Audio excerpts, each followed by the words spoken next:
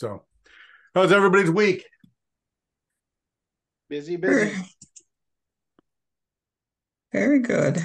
Yeah. Today's Monday. You talk about last week? Yeah. last week. Did you Last close? week- Did you close that uh forty-eight? No. No, it went on and it went all the way up to the last day, and the lender said he wanted to be first position. Oh, that And the guy already, yeah, the person already had per, first position because he bought the house at seven hundred thousand already, so he already Yeah. had a first position lien. So this one um went back and said, um, for that amount of money, I'm putting four hundred K, I want to be first. And they went back and forth and they said no. Yeah, I said, okay, we'll just keep looking. yeah. That that often happens Yeah. when you're getting beat with that kind of money. So, yeah, you had a you had a. uh Well, I thought the acquisition was seven fifty. Yeah, he bought the house at seven fifty, but he needed four hundred and fifty to furnish it and put it on the market for short-term rental. Gotcha. Yeah. Yeah, Mhm. the uh the 750 whatever the bigger number is, that's generally the one in first position. Yeah, and the lender knew that because that's how I sold it. And he just wasted my time for a whole three days. Uh for $48,000, I'll take that shot all day long. Yeah, but I, um, I have I have somebody else looking at it. They haven't said yes yet, so we'll see. Right. Right. And I make sure I stress it that this is second position loan, okay? Second. Yeah, and that's but- why they generally get a higher percentage. Exactly. That's Yeah, why the you- percentage was so high. You know I'm preaching to the choir. Yeah. Would have been nice to close it at 48 though. Yeah. I get that. Yeah. So, yeah, I got uh I got something cool for you, I think. All right.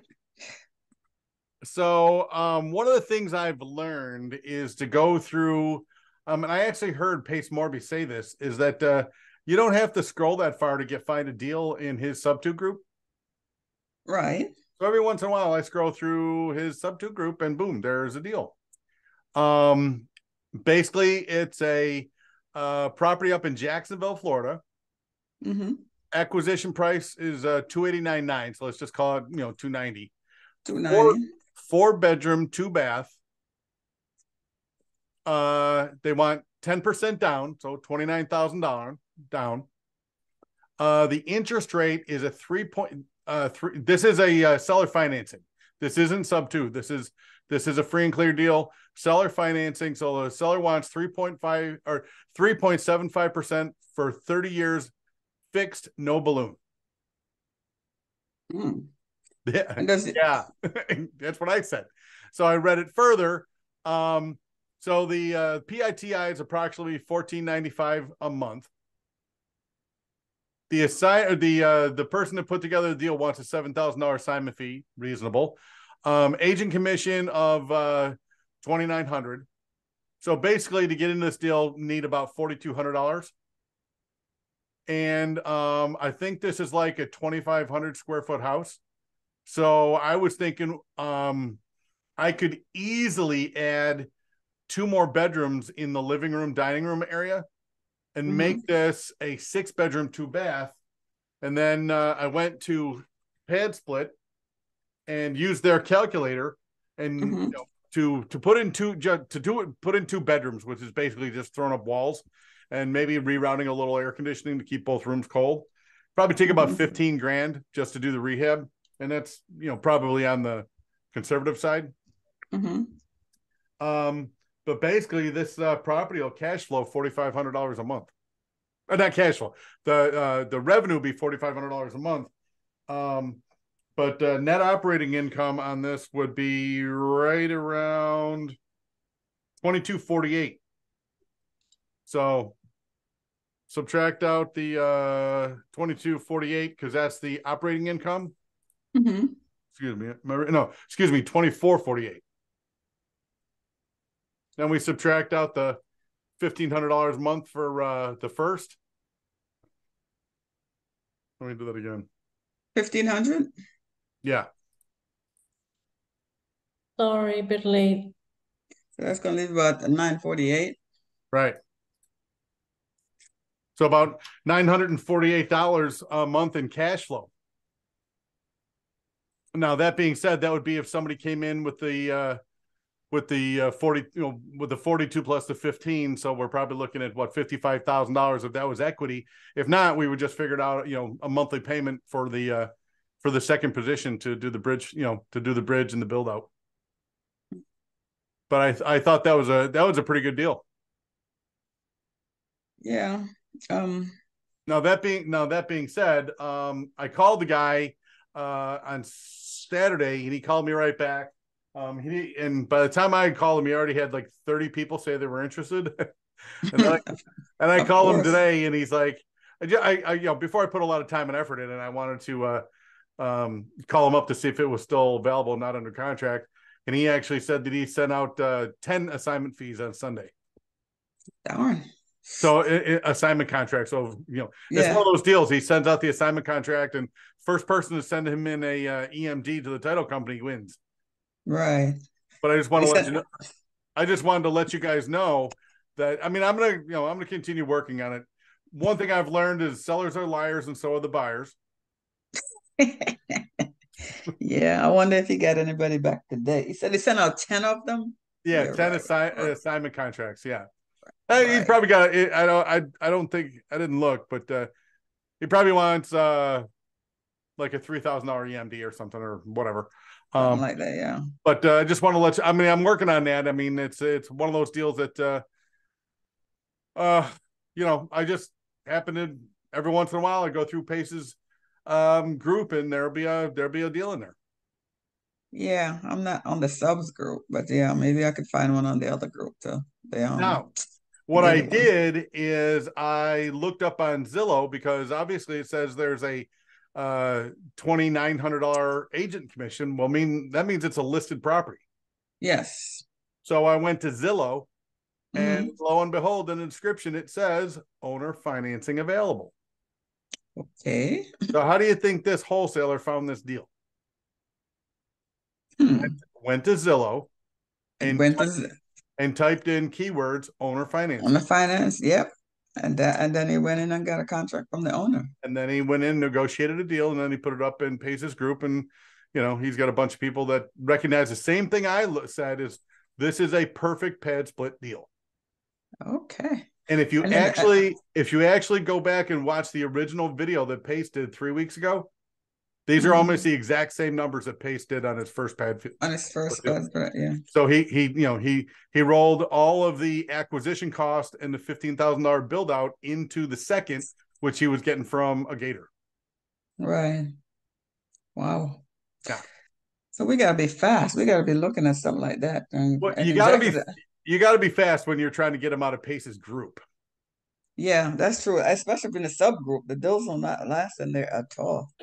Well, one of the things that I do when I'm when I'm looking for PadSplit deals is I've actually got a spreadsheet where I will go into Zillow and I will just you know put in all my um well you know on my website I I publish all the uh market data and it's the the PadSplit cities are highlighted.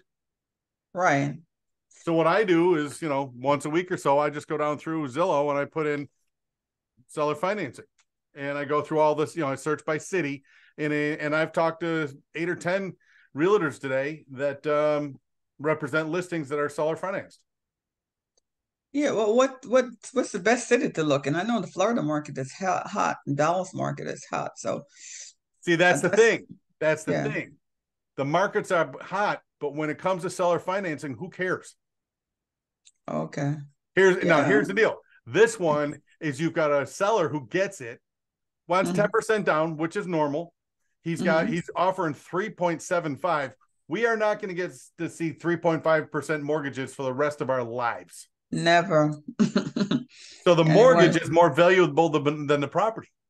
Yep. Yeah. The PadSplit and and the section 8 and the and and going out and getting a regular mortgage, these properties you cannot long-term rent them um at 7 8% mortgages.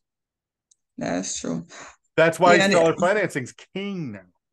Yeah, and he wants a 30 year. I wonder if he take a, a, a, a early payout. Oh, absolutely. Most yeah. sellers want a balloon. Want an early, yeah, want a balloon, like, but he's so he I went, said no balloon. I went through and I, I got the gamut today. I was talking to uh, uh, one realtor who you know had a, a nice house that could be pad split, and um, I, you know, said you're offering seller financing, and she said uh, seller, uh, this is like a two hundred ninety eight thousand dollar house.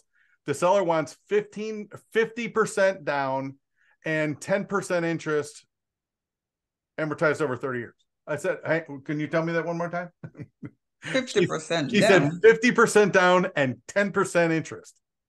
I, Excuse me. I very politely said, "Is he a crackhead?" what city? Fifty percent. I don't remember. I, I mean, that was that's one of those mm. 35 second phone calls. Yeah. 50% down and 10%. I mean, I can do better. I can do better with a mortgage.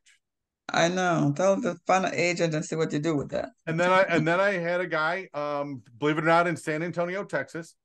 Um, and uh, you know, they were reasonable. You know, they wanted 10% down. Um, they wanted a, a reasonable mortgage rate of like uh four and a half percent, but the guy's 83 years old. He is not going to do a 30-year mortgage. No. I told him, I said, I'm 57. I don't know if I'd do a 30% mortgage. mortgage. nope, I'm not Um, doing it. But anyway, he you know he said he wanted like a uh, a, a six or five year balloon. If I can get if I can negotiate a seven a seven year balloon on that, I would do that deal. yeah. Now, um, I forgot what other city, but um, I ran across. I was in Texas. I might even be in Dallas, but I ran across a realtor who's got three seller financing listings, and I called him up, and he has said he's he he is delisting all of them on Monday because he's quitting the business. What? three seller financing deals I found, and the realtor is quitting on Monday. The re- Oh, okay. I And he's so to frustrated, he gave me the names and phone numbers of the owners. Hey, I don't do the thinking for these people. Buyer calls up and you're like, ah, forget you, I'm quitting the business. Hmm. But that's what happened to me today. Yeah. He's quitting. He doesn't know how to do creative uh, financing. Why is he quitting? He had a buyer call up that was interested in owner financing. All of them were PadSplit qualified. So they were three bedroom, two bath, and they were above 1,500 square feet. Yeah, we need to get in one of those deals. Uh, yes. Yeah. Preach it to the choir. I yeah, know. and that's what I told the guy with the deal up in Jacksonville. But you know what? When he tells me there, he, you know, like you said, it's a hot market. I was telling you about that rehab um, from three three weeks ago, where I called the realtor, um, Mhm. what eighteen hours after he listed it, and he he he gets the business. He listed this house at fifty percent of ARV, and by the time I talked to him, he'd already had nine other cash offers. Yeah. I Yeah, mean, that was in 16 hours. So I get how hot Florida is, but um, Yeah. I'm going to stay on this deal. If it, if it closes, you know, if he gets somebody, uh, you know, under contract, that's great. You know, if he was giving me a lot of crap, you know, I'm not going to rush and do something stupid. Yeah. Yeah, in order to get those deals, you have to be on those sites 24/7. Or, go so, or you got to go out and find them yourself.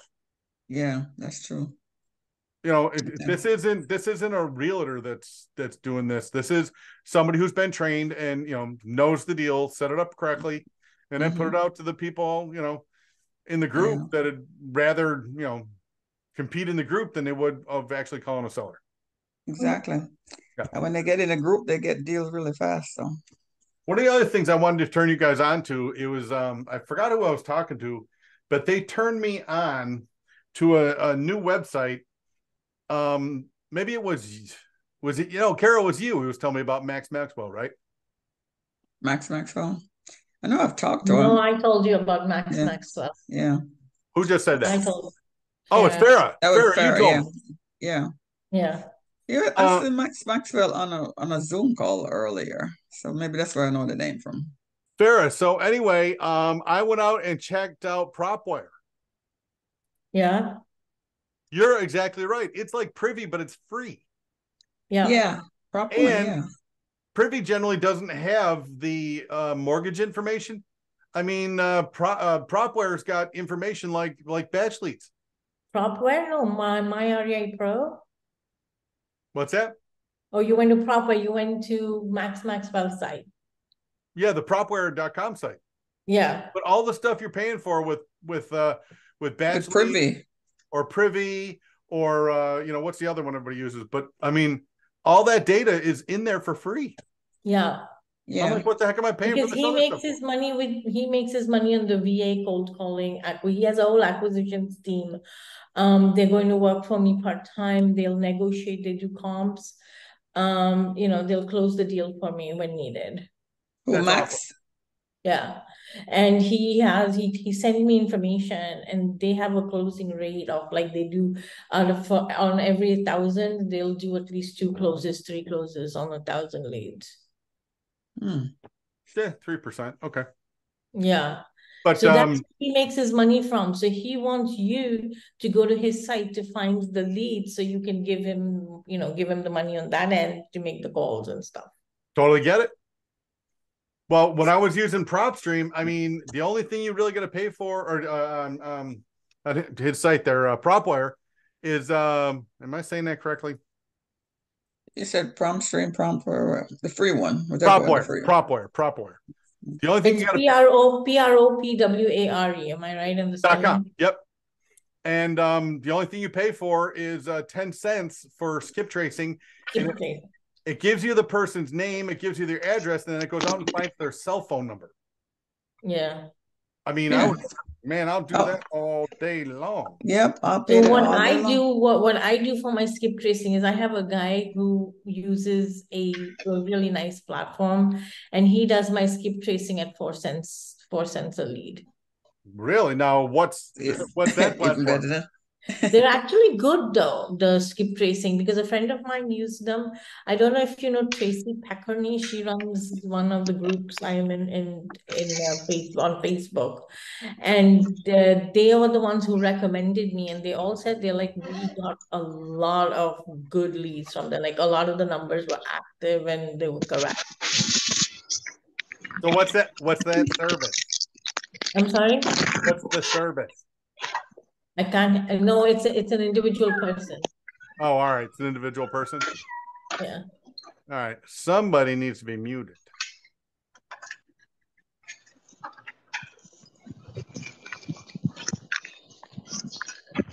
I don't know. Somebody, so, we're getting a lot of crosstalk from somebody. Yeah, it's not on my end. That's not me. Adrian, could you please put your mic on, on mute? How about that? That- I think I think that did it. Okay. Cool. Yeah. So anyway, all right. So that's a private person. All right. So yeah, it's a private person. If you want his name, I can give it give it to you. You can try him out. It's four cents a lead, Sure. Yeah. which isn't really bad. No, it's really good actually. Yeah, and he's very quick. Like I gave him fifteen hundred leads. I had it back and within, like I gave it to him in the morning. I had it back in the evening. Fifteen. Did you say fifteen hundred? Yeah, Wow. That's amazing. yeah. I He's mean, I don't. Th- I don't think I can. I can do fifteen hundred on on TruePeopleSearch. No, he has a system that he uses. Oh, amazing. So I'll I'll WhatsApp you his. I'll text. i'm sorry. I'll email you his information. I have it on my WhatsApp. Okay, great. I just WhatsApp him. I'm like, hey, I'm sending you this information. He's like, okay, when do you want it? Is it rush? I'll do it in a few hours. If not, I'll do it end of day. I'm like, end of day is fine. And But if, uh, there's- if you tell him it's a rush, there's no additional charge. oh, nice. Yeah. Um, and the reason I say that is because um, what I did in uh, PropWire is I just picked out a city, Indianapolis, and I filtered for um, pre foreclosures. Yeah. And damn, if it didn't pull up 138 pre foreclosures. So I do that with, I also have my REI Pro, which I prefer actually to PropStream, uh, PropStream and Privy. Um, they give you a lot of uh, comps. You can do your comps really well. You can filter out the comps and do them. Um, they do, you know, you have a lot of uh, things over there. They give you contracts. They'll give you, you can write up the offer right on my REI Pro. And um, I went in there and I put, you know, well, high equity pre foreclosure, and I got about 800 properties Right, in all of Florida. right. So that's what I've been doing. But I wanted to actually ask you if you know how, or you know anybody who can guide me on how to do a ad campaign on Facebook because I know people who are actually having home sellers call them based on their Facebook campaigning. Yeah, I am not a Facebook advertiser. So if there's anybody in the group that knows how to run Facebook ads effectively, jump in. Okay, because I'm trying to do that. I mean, it would be really nice to have them call you instead of chasing them. Yeah. Yeah, I agree. you know? There's a guy. Oops, sorry. Okay. There, there's a guy. Um, I'll have to look up his information. He's out of Utah, and I got him from. Um, Jesus, sorry, this pause. All right, sorry about that. Okay. He's um. I got him from Astro. okay. He's in Utah. I think his name is Josh. Oh, I don't know. Let me look. Okay. I'll put my I'll put my information in the chat. Just just text me. okay. Um, let me look at it. But he tries to get um direct a seller through Facebook yeah. by going through each not just real estate, but like people who sell stuff in different um cities. He uses that and he's able to acquire, he said, and I don't know, I didn't look at his bank account, Right. uh a quarter million per year. Wow. So I, I mean, that's what I know somebody who does that, and she's not. I've told her a couple of times, "Can you walk me through? Can you walk me through?" But when you get the silent treatment on that question, then you know the person doesn't want to walk you through. And the thing is, you know, you the guy may have made a quarter million, but did he have to give a quarter million to Zuckerberg? Yeah, that's the other I know. question. What's the cost? Yeah. You know, I I don't know all that. I don't know. I'm I'm not. I've just started going on Facebook, um, since the real estate thing. I had it, but I've never really been there on on it. I've never been active, so I have no idea how to do these things. Yeah, But- and, and for me, it's a full time job. So I I start it and then I just shut it off because I don't have time to babysit it twenty four seven. Oh, you have to do it twenty four hour, like full time. Facebook advertising a lot harder out and be done. to do it and make money and not waste money. It's a lot harder than it looks. So it's not worth the time then. Or find somebody that knows what they're doing because I'm not that guy. Okay. I I've tried myself and you know for my for my fishing business and I just spend I spend more than I make. So I'm obviously doing Yeah. Okay, so I will reach out to you, um, Dennis, and then hopefully talk to Josh and see if it's even worth it, but at least get some idea on it. Because I'm trying to find different resources to source direct to seller. And a friend of mine who does real estate, and this is a very weird state she does it, and she's out of Wisconsin. She gave me a really good idea because she uses it. She said go to real uh to these people who do estate sales. Yep. She said estate sales usually deal with people who are who just passed away. So they'll be able to connect you to the homeowner. That is a fact. So she said those, she says she gets a lot of properties like that. Mhm. And she gets them pre-probate because, you know, everybody contacts the estate sales people really quick. The only thing I will caution you, because I've done a lot of probate deals, is um you have to have a lot of patience with probates because you're going to start dealing with the courts, and the courts move at the speed of cold molasses. Yeah. I'm not kidding. I've got I've got I've got a probate deal I'm working on right now. It's over a year. And Yeah. I should have I should have been able to close on it in 30 days for a Yeah. twenty nine thousand dollar assignment fee. Yeah, I I understand what you're saying, but at least it's a it's a resource, you know. Yeah. And then the Or other maybe thing, the other It's thing with probate, person who's selling a second house. the other thing with probates is get used to work, talking to attorneys, and the attorneys will frustrate you.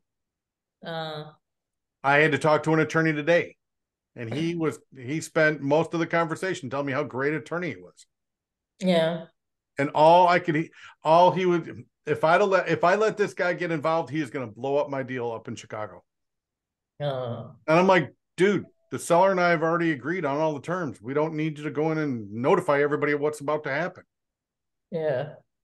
So, and it, an attorney, I spoke to a realtor who talked to who talked my ear off. I, I could actually take a nap between the conversation.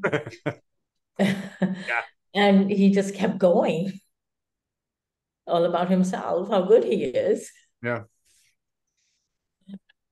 So, um, so I want to give you an update on that. Is is uh, that Chicago deal? Um, I have a uh, a title company up there that says that they uh, can't clear title without uh, a uh, a quiet title uh, process. And then, of course, that's why I had to talk to this attorney and found out that uh, they don't do quiet title in the state of Illinois. Oh, wow, okay. So the title companies ask for documents that don't exist. Oh, So- This is a situation where I now have to educate the title company. And this is a uh-huh. title company who I vetted and said, have you do have you done subject to deals before? Yes. Have you done deals in Chicago before? Yes. And it's turning out that they didn't. oh, wow. So we fall back on the rule. Sellers are liars and so are the buyers. And so are the title companies. Yeah. And that sucks because, you know, of time. So I called my rep and um, she's like, I'll get on it with my manager because um, last Friday, before I had spoken to the attorney this morning and found out that Illinois doesn't do quiet title, um, I said to, to the person that I've been working with at my title company, what specific documents do you need them to send you to prove that this is you had the quiet title done? And they just went Right. to uh to uh what is it, wiki or wiki whatever, and sent me the definition, the legal definition of what a quiet quiet title was. What is a quiet title? It's just to make sure that there's no other liens uh, associated with the title. Okay. and it's done by a judge. Once the judge signs off on it, then anything that was out there that, that didn't come forward, the judge wipes it off. But Uh, the more story is they don't do that process in the state of Illinois. Oh, okay. Th- This property was bought out of a tax deed sale, and once once they transfer the deed, that title is then cleaned. Oh, okay. So, so that being said, you know, every once in a while in our business, because of what we do, our with what we do is we fix other people's house problems. Right. not everybody's on the same page. So you become what I realized because I've had a lot of these go sideways like this is you got to babysit this now every step of the way. This is a job that the title company should be doing, but they're going to screw it up if you let them handle it by themselves. So now I gotta I gotta shepherd this thing step by step by step by step. Right, right. So that's what's going on in Chicago. And like I said in the email, the other thing I'm going to talk about is the deal that I'm trying to do with Alexis Vasquez, uh, uh Velasquez. I can't even say your na- last name. Sorry, brother. Um, but we're, that we're doing down in Dallas. Um, and uh, the deal was going along fine until the realtor got involved. Oh, yeah. So in other words, what what is going on there? oh That's not good. Why am I getting that? How do I get rid of that? I don't know. Oh, son of a bitch. How do I kick that person out?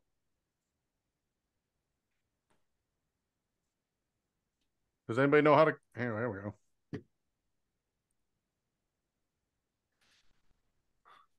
Oh, Can you delete them? I'm trying. Oh, that sucks. I know. Somebody thought that was a good idea.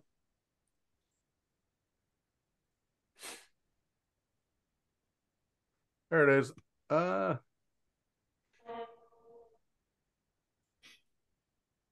there we go. Okay. Anyway, um, can I can I chime in on something really quick? Because I have a question.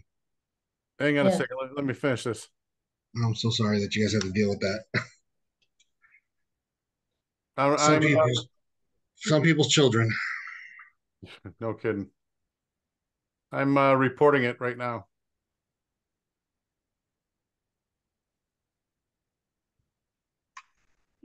It looks like Russian language or it looks like some other country language.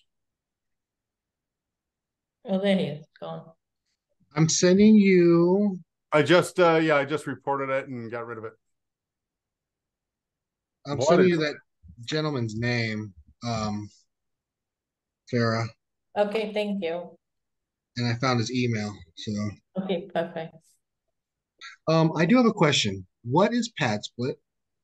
Oh, um, all right. So three weeks ago, um, I saw Pace put out a video about this new startup company. It's I don't even think, it's two years old yet.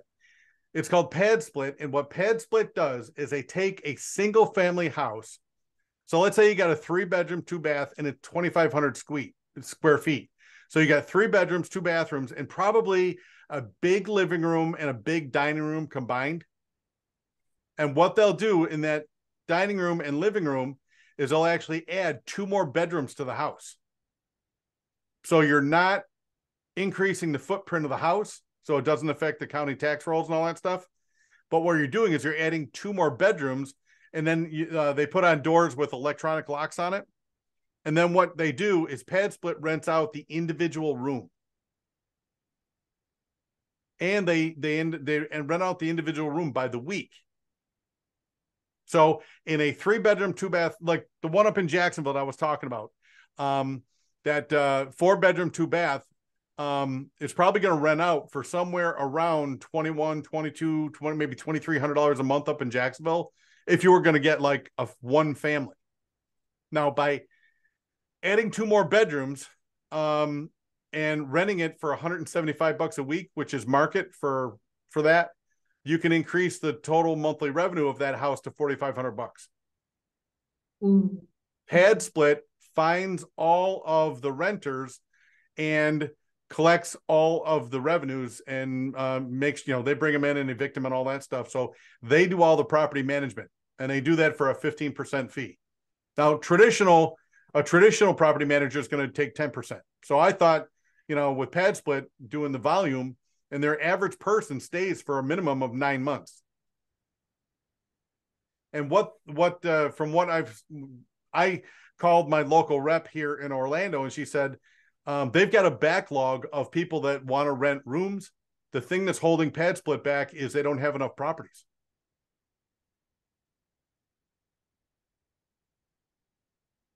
But can I ask you, have you looked at the reviews? Because I did, and they're not very good. You looked at the reviews? Yeah, PadSplit reviews of the people who stay there. Like they review the spot, they review the location, right? They being Uh-huh.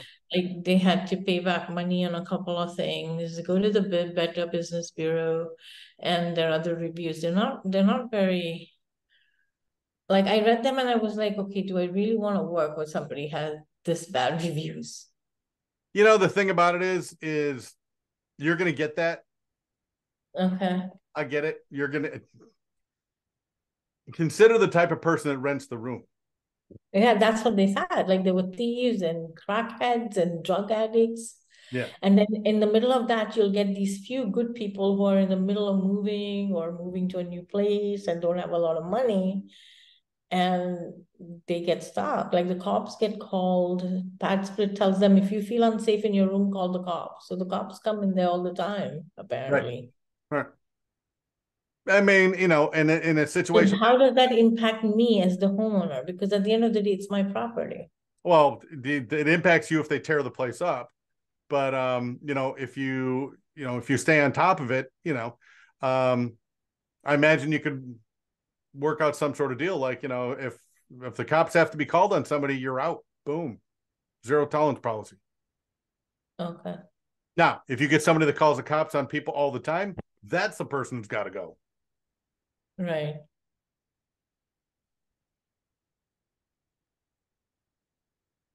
Okay. But yeah, I mean, I just read an article that I found on Google that PadSplit is growing by leaps and bounds. I mean, they were talking about how fast they're growing in Houston. Right, right. No, I understand that. I was just concerned about the reviews, wanted to know what you think about it. Yeah. In a, in a growing business like that, you're going to get bad reviews. Trust me. I've grown my own business and people will just people I will tell you what I've learned in business with my marine manufacturing is people will buy my product and break it um, because of their own stupidity um, and then return it and tell me it's defective. And I learned that if you try, you know, if you try to fight them, it's like, no, you broke it. I can, I can tell that you broke it on your own. You know, they will savage you online. They'll find every review site they can find. What I've Oh. learned is just even if these idiots are are taking advantage of you, I send them a brand new part and say go away. Okay.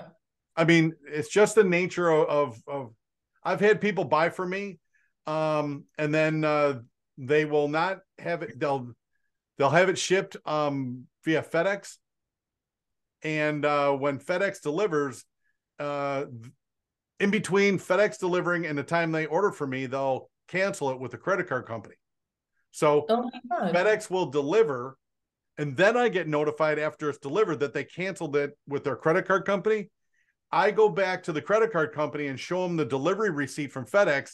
And because the person didn't sign for it, the credit card company gives them their 100% refund. Oh my God, that is so bad. That happens all the time. That's just the world we live in. You got to factor it in as, as a cost of doing business. That's possible. That's Yeah, just that- part of it. Yeah, that happens all the time. People are crazy. Yeah. So, I mean, look what we just had. Some idiot decided it was a good idea to upload pornographic video. And yeah, they do. hmm You know what I mean? So- Uh, for what reason? I mean, somebody sitting somewhere and wherever they are, laughing and giggling, think that was funny. So I have one. I have another question. I I, I don't m- I don't pay m- mind to that anymore because there are so many dumbasses out there in the world. Um, I try to just bypass it instead of getting aggravated. It's just that's just the way of the beast with these people, especially with this internet. But I do have a, a, a legit, um, educated question. Which guy? So I went to a um, flip um, conference for three days this weekend. And they were talking about subject to contractuary. Do you know what that is? So getting the getting the getting the property under contract, subject to, and then disposing with it the way you want to dispose with it, but not keeping it as subject to.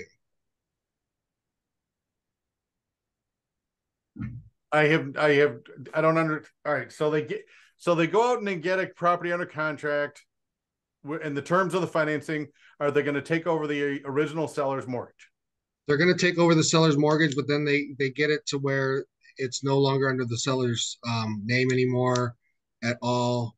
The only they do do it at the beginning of of the uh, deal, so they can dispose of it the way they want to, whether it be buy and hold and and rent it out or something like that. It was very interesting to hear. I heard a lot of things like you know, Oh, uh, Jesus, here we go again. what the fuck. Ah, Anyway. sorry, let me see what I can do about getting rid of this. The other thing that was very interesting was um I told Did you get, did you get it, Mike? Yeah, I got it. Yeah. What what what I Did I you- use a V- I use a VPN, so Yeah, What's that? I use VPN. How does a VPN help? Yeah. I don't know. Um that uh calculator that I was talking to you about that you said was um what did you call it? Al- analysis paralysis? yeah, it'll help you get over analysis paralysis. it was very interesting. They were using it, and I used it Monday because I was I was calling you because I, you're probably one of the biggest people that I trust in this in this business. Um, bigger than um, I'm not gonna be. I'll, I'll be straight honest. Than Jamil. okay. Yeah, me too. Um, I used a calculator and I argued with Keegley on price. I had a they had a pri they had a property for 105. Okay. Um, I did the ARV on it, it, and I asked the guy what was going on. He goes, "It's a total rehab." So I did it at 55, and I was like at 172. But I used a calculator, and it wasn't computing back wasn't computing back a profit. And I was like, oh my God. So I went to this thing this weekend and they were using a, a calculator so that you could figure out, you know, what the profitability would be for a flip. And I was, you know, minusing my wholesale fee. But I went today with to this calculator and I had to be at 140. Now the gentleman bought the property recently for a hundred thousand dollars, Right. and he was trying to make another hundred k for profit. I mean, that's a home run. You you know that, and I know that, and I think even Stevie Wonder knows that if he couldn't even you know hear or see this stuff. But what I what I really uh, found intriguing was Keegley thought it was a good deal. There's like you should buy this deal, and then a half hour later, because this this game is about right now, you have to you have to you have to make your mark right now. You can't think about it. You just have to do it. Um, someone bought the pro, someone uh, put it under contract. As of this morning, or of, of 12 o'clock uh, Mountain Standard Time, it's no longer a deal. He has taken it off the market because it didn't go through. Because I bet you it went to contingency, and they try to retrade. You know, and it's kind of like that that deal I was telling you guys about up in Jacksonville. I call the guy up and he's like, Oh, 30 people told me they were interested. I called him this morning, you know, before I put a lot of time and effort in it. Is it still available? He's like, I've sent out 10 assignment contracts. Well, if if I gotta move that fast, that makes me nervous. I mean, and I'm not the kind of guy that puts stuff under contract and then backs out of contracts. So, you know, if it's a deal, it's a deal. But if I if I feel rushed at all, then that then you're prone to making mistakes. Now, if you got a lot of money, you got a 240 million dollar portfolio, you can afford to screw up. You're you're your Grant Cardone and you can walk away from a two million dollar EMD, knock yourself out. But I can't waste that kind of money, so I move I move slow just to be conservative and and not make mistakes. Yeah, Right. that's what I, that's what I felt because when I saw the numbers and numbers don't lie. People may lie, but numbers don't lie. Yeah. And I do do I'm doing basic ba- mathematics here and it's on a chart that that computes it. So it's like a it's like a calculator. Um and I kept redoing it and when I got on the phone with Keegley, they were like this is a good deal. I'm like I'm looking at the profitability guys. You're not going to make only a thousand dollars. This is not a good deal. We, we, I, I- can't, I can't sign up for this one. He goes, you should get this deal or it's going to be gone. And I'm like, it doesn't sound like a good deal. He goes, he goes, listen, his name is Alex. And he goes, listen, I applaud you for trying and doing your best and going beyond your means to comp and underwrite stuff. But um, we're just gonna have a difference of opinion. This is a good deal. But the funny thing is, now it's not even on the market. Well, I mean, what was the person from Keegley saying that Keegley would buy it? yeah, I mean, is Keegley going to buy it or are they going to go find a buyer and make the difference? I think they're gonna buy, buy, find a buyer and make the difference because he's the acquisition manager. Well, yeah, they're just man in the middle, you know. Um, so I mean, in that situation, if Keegley's telling you they could get the thing dispoed for you, eh, it might have been worth it. But the the the point that I'm trying to, I don't know if I'm making anything. I might just be spinning my wheels and spe- speaking out of um, of wrong context.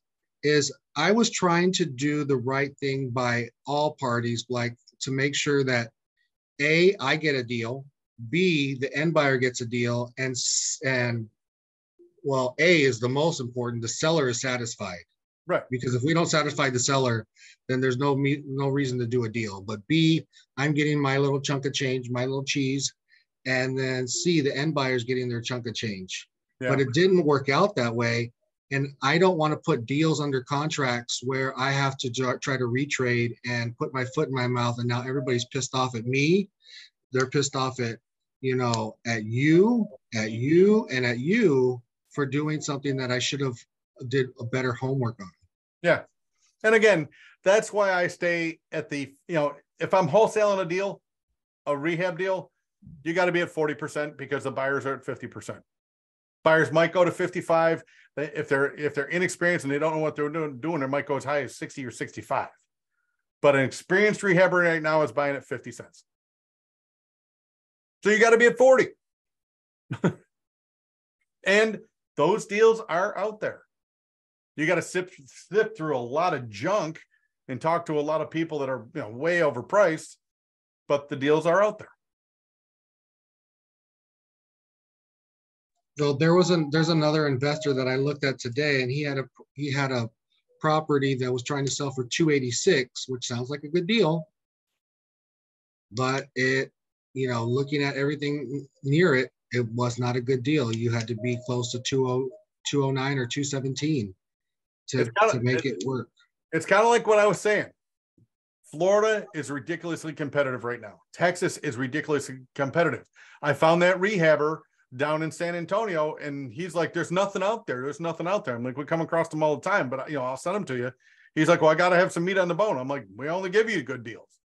And Arizona is ridiculously hot. Vegas is ridiculously hot. Well, folks, there's a New whole Jersey is lot. getting there. New Oh. Jersey is getting there. the the idea is there's a whole lot of other towns and cities in America. I mean, a whole lot. So, like I, I've been talking about for the last six weeks, I stay away from the guru states, the states that all the gurus say, you know, go Florida, go Texas, go Arizona. I, stay away from California, stay away from Illinois, stay away from New York. Because they got crazy laws. I'll be honest with you. I'm doing these deals in Chicago and I've learned a lot about Chicago and I'm not going to be doing a lot of stuff in Chicago. Just because, I mean, it's just, I, I would never consider owning anything in those three states because in California and Illinois, it can take you two years to evict somebody. How'd you like to get somebody in one of your properties and carry them with no income for two years? Oh, yeah, the bank's still going to want their money. But that's what I'm saying is in the hot markets or in these crazy states with crazy laws, just go to other markets. How's North Carolina and Georgia? Very good. Very, those are very good states.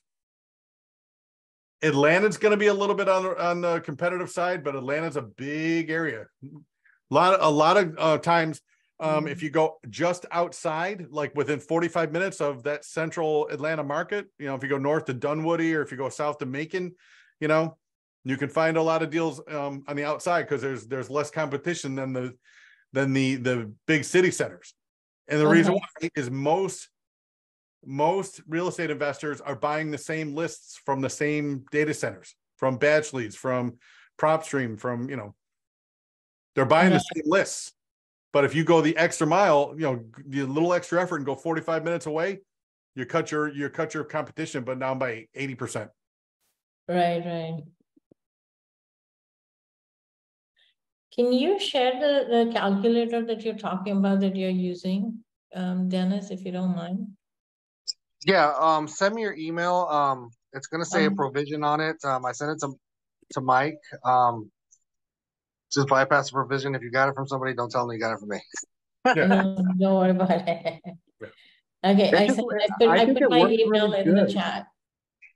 Yeah, I, I think it. I think it works good. Um, I'm not sure what um Mike thinks about it. I just found it, and um, I just don't know. I just I just thought it was you know the numbers don't lie. It makes it a lot easier to look at the profitability at the end for the end buyer, and um, not guesstimate on you know where we're going so that the deal goes through. Because I don't know.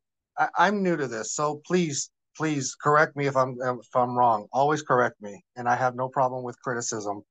But one thing that I I, I am realizing with uh, real estate is you need to find end buyers first Yes, before you go and acquire something. Because if you're over here trying to play hot potato, it makes you look like a jerk, and it makes everybody in your region look like a jerk. And then you get on these calls and you just feel like like the biggest jerk and don't know what to do. So I just think that having more cash buyers around and knowing where where they're going to be at so you can get them the deal moved.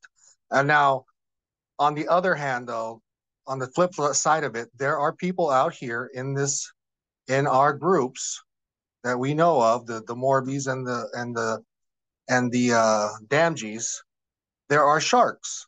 They will snake your deal. right. They just will. If you don't know what you're doing and that that you feel like you're reluctant on it, they will take it. So I'm not one of those people. I'm very transparent. I would, I'll give, Welcome to PropWire. Right, sorry. so I'll, I'll, I'll give the, sh- I'll give my, um, shirt off my back literally to anyone Um, I'm just I that share whatever information I have as well. Um, you know, I don't mind that, and I think if you share. What what is yours will come to you. It doesn't matter if you're sharing what you're sharing, you know? Yeah. Yeah. There's So, there's there's like 300 million households in America. Nobody yeah, could get to them all. no. And like I said, what is supposed to be yours will come to you, no matter what. And the thing about the thing about it is the listings that are out there today are going to be different tomorrow, and the listings the day after that will be different. So they're you know it's just this constant churning. You know, you've just got to be constantly looking, and that's that's why I have forms like this, so I know I do the same thing over and over and over. and Over over. and over. I spoke to a, actually, they invited me on a webinar called Mom's House. Have you ever heard of that? Mom's Homes, Mom's House. No. They only deal with, they call themselves, they don't call themselves real estate investors. They call themselves real estate transitioners because they only deal with senior citizens who are moving into uh, old, you know, assisted living facilities or old homes or somebody's passed away like that. And what they do, where they get their leads from, is they connect with these assisted living facilities because they have the people come in. Yeah. And then those people connect, contact them and say, hey, this person's here, she needs money to sell her house quick, you know, because she has to pay us, can you help her get rid of your house? And then those people start sending them things, and I thought that was a brilliant idea, so I'm thinking of making a list of all the assisted living facilities. Because they actually went into a lot of details, they gave us exactly who we should contact at these places. Of course, they say join them and they can do a lot of the work for you and you pay them. But that's not happening anymore. I paid, I put seventeen thousand dollars into mentorships and I don't wanna put more before I make any more money. Um. So, but, you know, I can contact the assisted living facility director and marketing person and say, hey, I can give you a referral fee, I can give you a finder's fee, whatever you want to call it. If you have anyone moving in who needs to sell their house, let me know. What you're talking about and your last three things that you've talked about are all rel- relationships. Right, So when you're starting a relationship, think of it like dating. You don't walk up to somebody wherever you find people attractive and go, "Hey, I think you're really pretty. Let's get married." I haven't dated in thirty-three years, so you know, it's hard for me to know. I'm But that's what I'm saying. When you call somebody up and say, "Hey, listen, I'm looking to buy houses from old people, and I'll give you money if you tell me where they are," they are going to run from you. Right, right, It's think of it like dating. Think of it like, "Hey, how you doing? My name's Mike, and um, you know, I live here in Lakeland."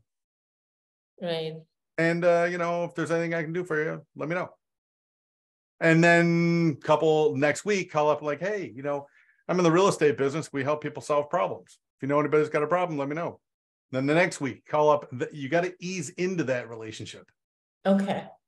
Yeah, don't don't run up there and go, hey, let's get married. Okay. And once you once you start thinking about your conversations like that, then will people will warm up to you. Just remember they warm up to you slow. Okay, Same thing with probate attorneys, same thing with, you know, with people that, you know, that when you call foreclosure, oh, here we go mm-hmm. again. they change Lord. IDs and they're coming in. Ugh. Boy, somebody, uh, I must have aggravated somebody because, uh, this person's coming in from, uh, many different, uh, accounts. Yeah.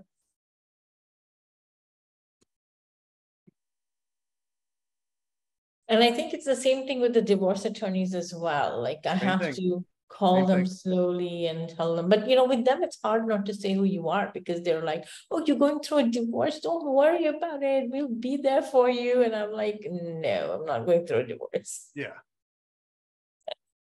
Yeah. But, but like I said, it, yeah, the, each one of the different strategies you've talked about is, is a relationship. Yeah, It's the same thing with realtors. You yeah, know, if you, hey, my name's Mike, I'm looking for fixer uppers. You got anything? No, bye. Hung up. Well, the person's on the other end going, the hell was that? yeah. But I think for me, building the relationship is important because I feel it is a a long-term resource then to get homes. Let me of one of my better realtors, my best realtor, to be honest with you, in Orlando, what she does, is she spends an hour every day. And what she does is she does uh, she does comparables in the neighborhood that she farms.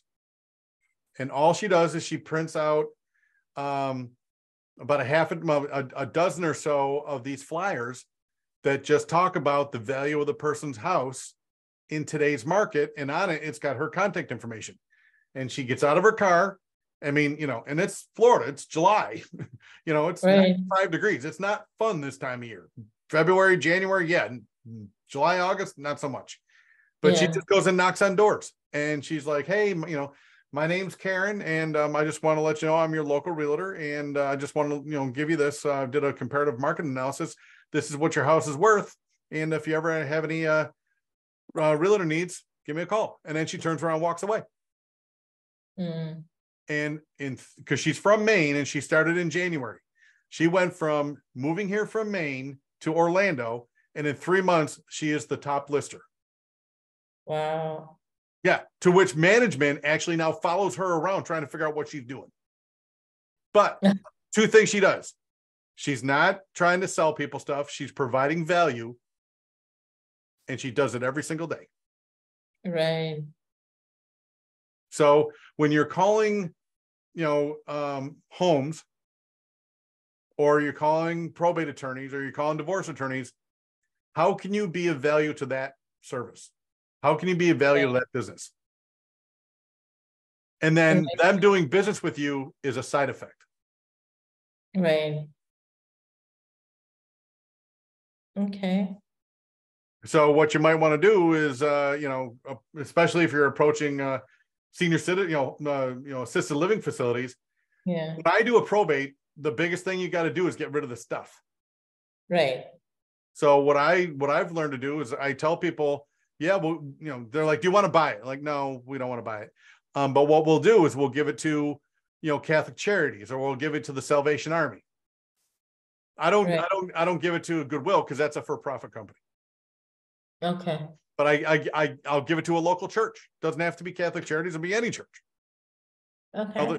Temples will take it. The mosques will take it. You know, not so much the mosques, but you know what I mean. The religious organizations will take will take the stuff and give it to the needy. Right. Most people feel good about that. Yeah. Or maybe you can bring in someone who'll do the estate sale thing, you know, wrap it up, do it. Absolutely. Yeah. Your local auctioneer does it. Make money for them. Yeah but that's why I'm, I'm just brainstorming with you. How can you provide value Right, right. to that business? Because when you become valuable, then they'll start referring your stuff. And then moving into the assisted living facility, that would be the same value they provide, right? That's, that's the same value you'd provide, helping them get rid of their stuff because they're Right. moving from house to a one room. That's right. Exactly. And trust me, um, what markets are you working? So I do Jersey, New Jersey, and Tampa, Orlando. I can absolutely tell you as authority in Florida for 30 years, the only thing the heirs want, microwave TV and a check. Who wanted it? They Oh, couldn't, they, they, yeah, mo- most families don't care about helping their parents. Yeah, I know, I've seen that. I know it's, it's sad. It's the reality. So if you can be the person that cares, that's the person they're gonna, they're gonna, they're gonna lean on, Right, you know, and especially when you're dealing with the three topics you're talking about, you gotta be a human being. yeah, no, absolutely. Yeah. You know, with assisted living, probates, even divorce, it's a Yeah. sad situation. So I know we're getting you and I have kind of dominating the conversation. So tell me about your numbers. How did your numbers go last week? My numbers, they Yeah. didn't go very well this week. I wasn't doing too well. Um, I had to go for an MRI, I had to go for a couple of other tests, so I only did calling for three days out of the five. But I did do twenty-five each, and that's my goal. Yep. Is to make, because I don't have the mojo dial or anything. Uh-huh. So my goal is to do twenty-five calls to realtors, which I did, twenty-five calls. I have a list of end buyers that my friend who's a property management company pulled for me. So I call 10 of those every day. I'm leaving messages right now, haven't got calls back. Realtors are better because I tell them I want to buy a house and then they call me back. What's your phone service? I'm sorry, What phone service are you using? mm, Google. Okay. After you place a phone call, when you leave a message, Yeah, send a, te- send a text. okay, That's what I do. As a matter of fact, I'm not big on leaving messages because I know nobody ever calls anybody back. But what I do is, as soon as I get that answer machine, I hang up and I send them a text. okay, I get more response from the text. okay. Yep. So that's been my goal is to call, do ten realtors and ten end buyers. I do thirty-five calls a day. Mhm. Then I look for properties. So I found, you know, found that list. How Um, many, how many offers are you getting out every day? None yet. Okay, that's gonna be a problem. Yeah, and that's why I'm I'm working to get the VA so that they can start calling. I can pull the lists and find the deals and they can make the calls. And then we can get the end buyer and sell it out. I have a minimum of five offers a day, written or verbal. Okay, okay. So like, you know, when I'm calling up um these realtors, I'm like, hey, you know, I see you listed it and you know, uh, you're offering seller financing. Tell me about the financing. I don't even ask about the house. I want to know about the seller financing first, okay, because if the financing's right, the house is just a bonus.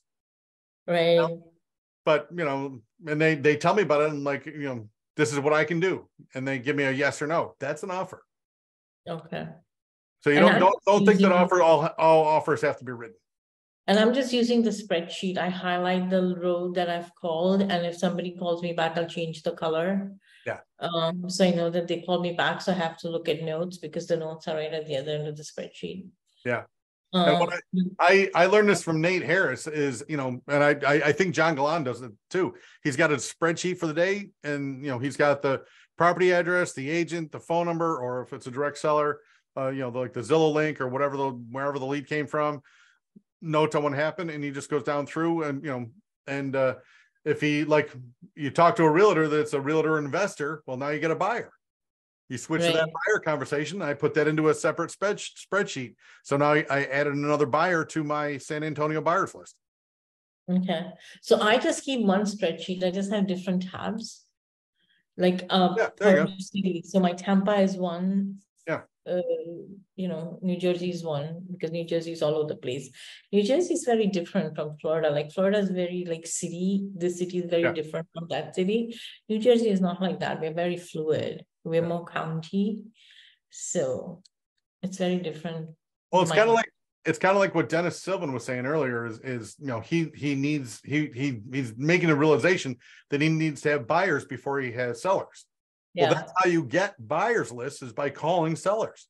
sellers, Yeah, when you come across somebody who's like, yeah, I'm an agent, I'm you know this is my property, I rehabbed it, you know, but I you know I'm constantly looking for properties. right, right, So I'm like, oh, hey, tell me about this. What, what do you need to buy it at? Well, I need to, you know, make it worth my while. So he wasn't going to give me his buy box. So I said, well, if I've got a property, you know, that's all fixed up worth a hundred grand, what do you need to buy it at? Right, Well, I don't know. I'm like, well, would you take it for 50,000? Oh yeah, sure it would. Well, he just told you he buy, he's buying it 50 cents in a dollar. right, So a lot of times, you know, they, they don't want to give you their buy box, but just ask them a different way. Hey, property's worth a hundred grand. Would you take it for 50? right, right, right. It- it- it- and then, uh, and I said, I said, I actually said to him, I've got a property that all fixed up's worth a hundred grand, but it's a full gut rehab. Would you take it at 50 cent, you know, at 50,000? Yeah, I would do that. Oh, you'll take, you'll take full guts at 50 cents on a dollar. Yes. Well, what would you pay for a lipstick? Because Right. Uh-huh. obviously that's less work. So in other words, he's not, he's not, this guy today did not want to give me his buy box, but just by asking him a couple of different ways, I figured out exactly what his buy box was. Right. So you make your five offers to realtors. Realtors, sellers, yeah, anybody's got something for, for sale. Okay. Yes, uh, well, here's an example. I got a guy who, who's got three properties listed with seller finance and he's quitting the business. And he gives me the Oh. seller's phone numbers. Right, right, right. Oh, I started with a realtor, now I got three sellers I gotta call. Yeah. And then with uh with PropWire, you know, forget the realtor, I'm going straight to the seller. Right. Because because like the deal that I'm working with uh, Alexis down in Dallas. I mean, you know, we were working directly with the seller and then all of a sudden this expired listing turned into a listing again somehow magically. Oh, okay. Yeah. So I told Alexis, I'm like, yeah, get that get that realtor to send you a copy of his uh, listing agreement, see if it actually expired or not. Right. Because this realtor's claiming they just paused the listing. Yeah. Last time I checked, contracts end. They don't pause.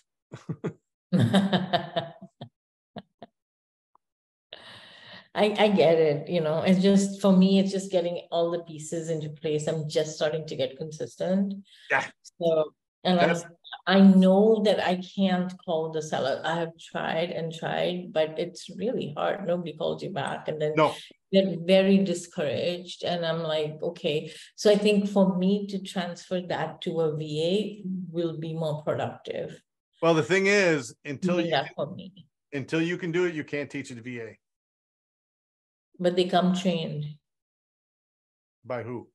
by Max Maxwell. That means you're not trained. No, he's not, tra- I mean, I can train them. We, so this is how it works. We interview them and then we can sit with them for one week to train them in what we want to do. Right. So I know what to do. I mean, I have the whole script for the callers and everything. It's just that nobody picks up and it's very dis- discouraging for me. I'm like, I don't want to do this. Yeah, I totally get it. Yeah, direct to seller, you got to have a little bit of alligator skin. Yeah, and it's like nobody picks up. So I'm figuring like they can do the direct to seller while I do the realtors and the other, the divorce attorneys and the, you know, the estate salespeople and all that. The relationship building part I can do while they can do the direct to seller. You know, the thing about it is, is you got to remember, and it's it's on my lead sheet. The most important part of what we do is motivation. If the Yeah. seller has no motivation, forget it. You're wasting your time. Yeah, Doesn't matter how bad you want it or how good a deal it could be. Without a motivation, there's no deal there. no, but the thing is sometimes they are motivated. So I'll give you an example. Like there's this house in Metuchen. It's already in pre foreclosure. I've called this idiot, sorry. I've called this guy. like, Don't don't apologize to me. I'm calling the same people.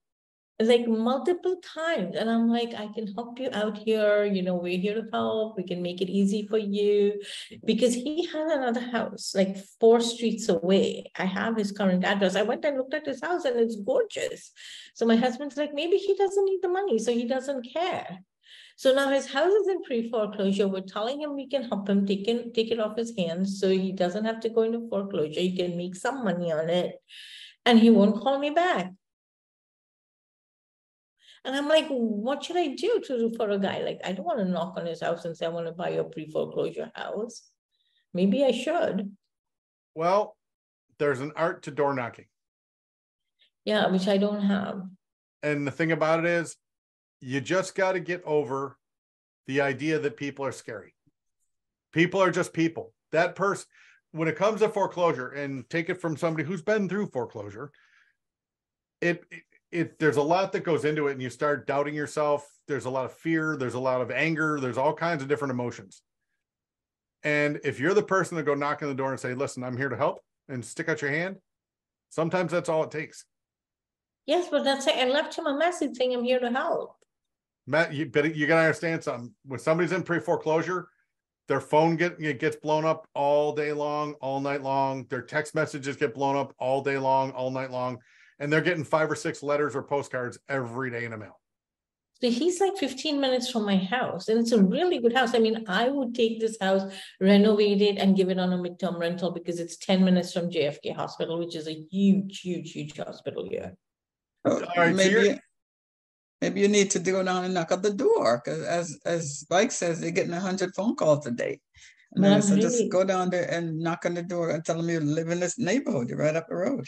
Fair, you got a Dunkin' Donuts or a Tim Hortons or a Krispy Kreme near you? Yeah, there's a Starbucks right there. Stop by and well, I wouldn't go to Starbucks, but um stop stop by and get uh, a couple of assorted donuts Okay. and walk up and say, Hey, I'm your neighbor. Here, have some donuts. Got a cup of coffee? Okay, Be a human being. right, right, right. And, and again, the thing about what we do, it's like a three-legged stool. You've Right. got to convince the seller to sell. You got to convince the seller to sell to you. And then you got to convince the seller to take your offer. Three-legged stool. Well, when you're dealing with a realtor, you know the seller wants to sell, and the realtor will convince them to take your offer. So now you Right. just got to come up with the right offer. So, that, so that's why working through realtors is a little bit easier because you already knocked down two of the of the legs of the stool. right? You go and direct to seller, you gotta you gotta knock down all three. You gotta get them to trust you, get them to sell to you, and then accept your offer. right. But- Okay, You know, if if this person's 15 minutes from you and you really in your heart want to help them, go buy donuts and break down that barrier. okay, And just say, hey, listen, get you know, here's some donuts, and I'd love to talk to you about your situation. You got a cup of coffee. Yeah. Now I got, a I got a hold of one guy. Um, he has a house in Toms River, it's vacant, and I'm telling him, I'm like, you know, it's a vacant house, I can get you a good deal on it, cash payment. We don't have to worry about repairs as is. And he goes, why would I sell my property? I'm like, because it's vacant. He goes, so I don't need the money. Yeah. I'm like, okay, then that's good for you, lucky you. Well, yeah, there's there's no motivation there. Yeah, Now, somebody drives by his house at two o'clock in the morning, throws rocks through the windows. Might be some mm-hmm. motivation there. I'm not saying go out and throw rocks through somebody's house, but I'm just saying that that's the difference between a vacant house that's not motivated and one that's getting vandalized all the time. That seller is going to be like, I want to sell this. rock throwing for, a rock thrower for hire.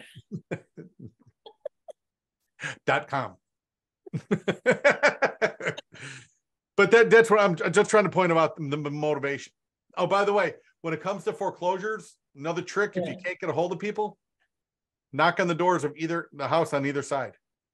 Yeah, The neighbors Uh-huh. always know the name your your neighbors always know your business. okay, And by the way, if you if you find a house that's a zombie, in other words, it's in foreclosure, but the people have bolted, take a uh, for sale sign, a bandit sign, and put it in the front lawn. Trust me, the seller take will, a for sale sign and put it at the end of the lawn? the seller will call you. I mean, the owner will call you. The owner will call you? Yep. Really? Trust me, the seller will. You put a for sale sign in, in their lawn. Trust me, With your- seller will call you. With There your was a number on it. There was With a your number on it. Maybe not happy, but at least you now are talking to 'em. Yep. there was a house you. in Toms River where the old guy fell off the roof and passed away. Hmm. And then the wife became very sick and she was moving out, so the house went into foreclosure. But nobody wanted to sell that house. Why? Because the guy died on the roof? I don't know. I mean, every time I call the relatives, because you know, the lady had dementia, so I couldn't call her. I would call the relatives and they'd go like, we don't want to sell right now. We're very worried about our mother. Yeah. Yeah. Yeah. And I'm like, I can help you, you know, I can, I can help with whatever. I understand where you're coming from. I have a son who's sick, so I get that. But With- don't you think a little liquid cash would help you? And she, they go, no, everything's covered. when it comes to dealing with realtors, when it comes to dealing with direct to sellers, think about what everybody else is doing and then don't Yeah. do do something different. Be different. The people that are different are the ones that stand out. The people that, you know, just send out a thousand postcards a week. The people that make, you know, 50, you know, three hours of phone calls every day. The people that, you know, um, the people that are out there that are doing the same thing everybody else is doing, they're doing the same thing everybody else is doing. So try to stand out, try to do something different. So what would you do? Get six donuts and walk up and knock on a guy's door. Throw a tailgate party and throw a tailgate party on the block? No, you don't have to do that. No, no. But, but here's here's one thing I will tell you. Uh rundown houses breed other houses that are run down. What? So in other words, when you go to this neighborhood, Yeah, look for other signs of distress on that. there's no street. other houses that are distressed. It's a very high-end neighborhood. Okay. Well, that's a pretty house. But what I'm saying is foreclosures breed foreclosures. Okay, Rundown houses breed rundown other houses. Okay, so you're It's- basically saying your neighbor and you would be in the same boat, kind of So in, so in other words, when you go over there, walk the neighborhood. You'd be Yeah. surprised at how friendly people are. Now, you want you want a trick? If you're gonna go knocking on doors, you want a trick? Yeah, Get a clipboard. Get a tape measure. And go down to Home Depot or Lowe's and get one of those yellow vests that you see the guys that on the, that are working on the side of the roads yeah, and put that on. So when you walk up to the door, you're carrying a clipboard, you got a tape measure on your hip and you're wearing one of those uh, reflector vests. Do you look you like you're a real estate person? Nope. and they think I'm like from the government? Or you could just be from the city checking water, you could be looking at roofs, whatever. But you disarm people. And then you mm-hmm. knock on the door and you say, hey, listen, I've been trying to get a hold of you. I saw that the bank has started the foreclosure process and I thought maybe, you know, you'd be interested in talking about it. You got a cup of coffee? Okay, And when we can talk about how bad these people are at the bank. By the way, have has the bank reached out to help you and your family at all? No. Well, yeah, I know. I hear that all the time. We we can sit down. I can tell you how you can fight back against the bank. Right, right, See how I'm positioning that? yeah, You don't look like the average re- real estate wholesaler.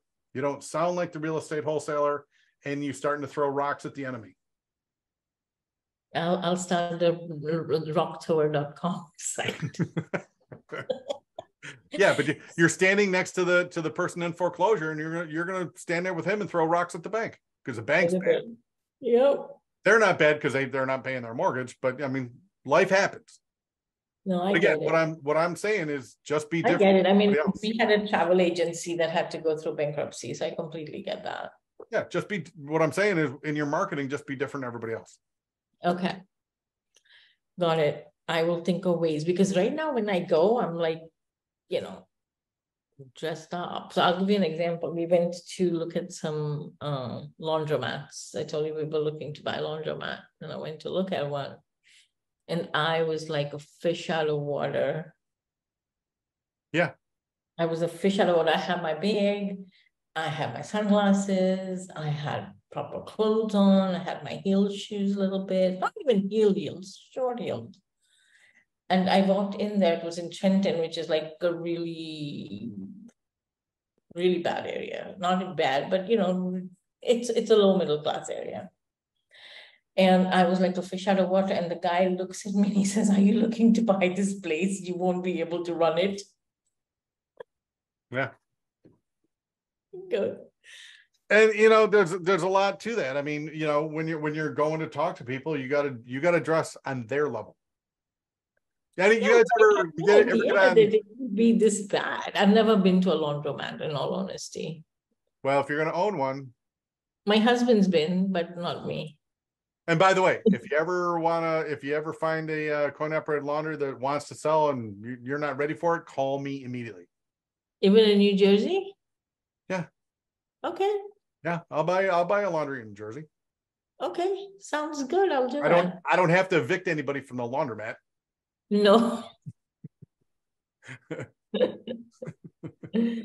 And people so- people always say to I me, you, you what you're saying now about dressing appropriately, because that was like, I was totally like a fish out of water. I was like, you got a hoodie? no, I don't own a hoodie. if, if you get on TikTok, there's that uh, Asian fella, and he's kind of like Pace Morby, just Asian, um, or or Jamil, just Asian. And um, he actually, I've seen him do videos like, yeah, when I first got into this, I used to show up in my suit and tie, and he wouldn't wasn't buying anything. Then he decided to show up in jeans and a t-shirt and a hoodie, and all of a sudden he started getting deals. Oh, You got, you got, you got to. It's called mirroring. okay. the people will identify with you if they can if if if if if you act look and behave like I, they do Okay, so that goes for like you when you're going for a job interview, you know, you gotta mirror the interviewer's. I wouldn't say habits, but mannerisms, kind of. all right i'm not saying this is right or wrong but i watched this on 20/20 they took a professional model and they frumped her up They did the hmm. makeup so she looked frumpy. They didn't, you know, they made up her hair so it looked frumpy. They put her in these frumpy clothes and she went in with this resume and the person and they they had a male interviewer and they had a female interviewer, two different companies, and they filmed the whole thing and the girl didn't get the job. Same Yeah. mom, same girl, same woman, all dolled up like a supermodel with the nice clothes and the hair and the makeup and everything. She went in with the exact same resume. Both male and female hired her. Yeah. These two people, when they when she went in there all frumped out, both turned her down. So Yeah. how you appear affects how people react with you. Yeah. That it's a big part of it. It's just how human brains work. It is, it is, and it's sad though, but it's very true. But so when you're walking in to buy a uh, coin operated laundry, if you're walking in all dolled up talking to the seller, you're like, oh wow, this is not. And my husband goes, he goes, don't wear those. I'm like, why? I mean, we're going out after that. He goes, you don't get it. Fine, just do what you want. You learn. And you did. And I did. And he went in like wearing, before me, wearing jeans and, you know, like sneakers that were like scuffed up a little bit. And he was fine. Like they talked to him really nicely. Yeah. and they talked Joint to him venture partner. and- Hello. And the guy gave him so much information. And then I go and he looks at me and he says, You come to buy this, you're not going to be able to run it. And the guy was being real because he knows his customers. Yeah, I guess so. I was talking. I'm I'm trying to buy a uh, laundromat, uh, coin operated laundry in uh, north of Orlando, and the guy actually stopped his uh, Wi-Fi, and he actually had a uh, an easy chair where people could you know sit in the easy chair while they were doing their laundry.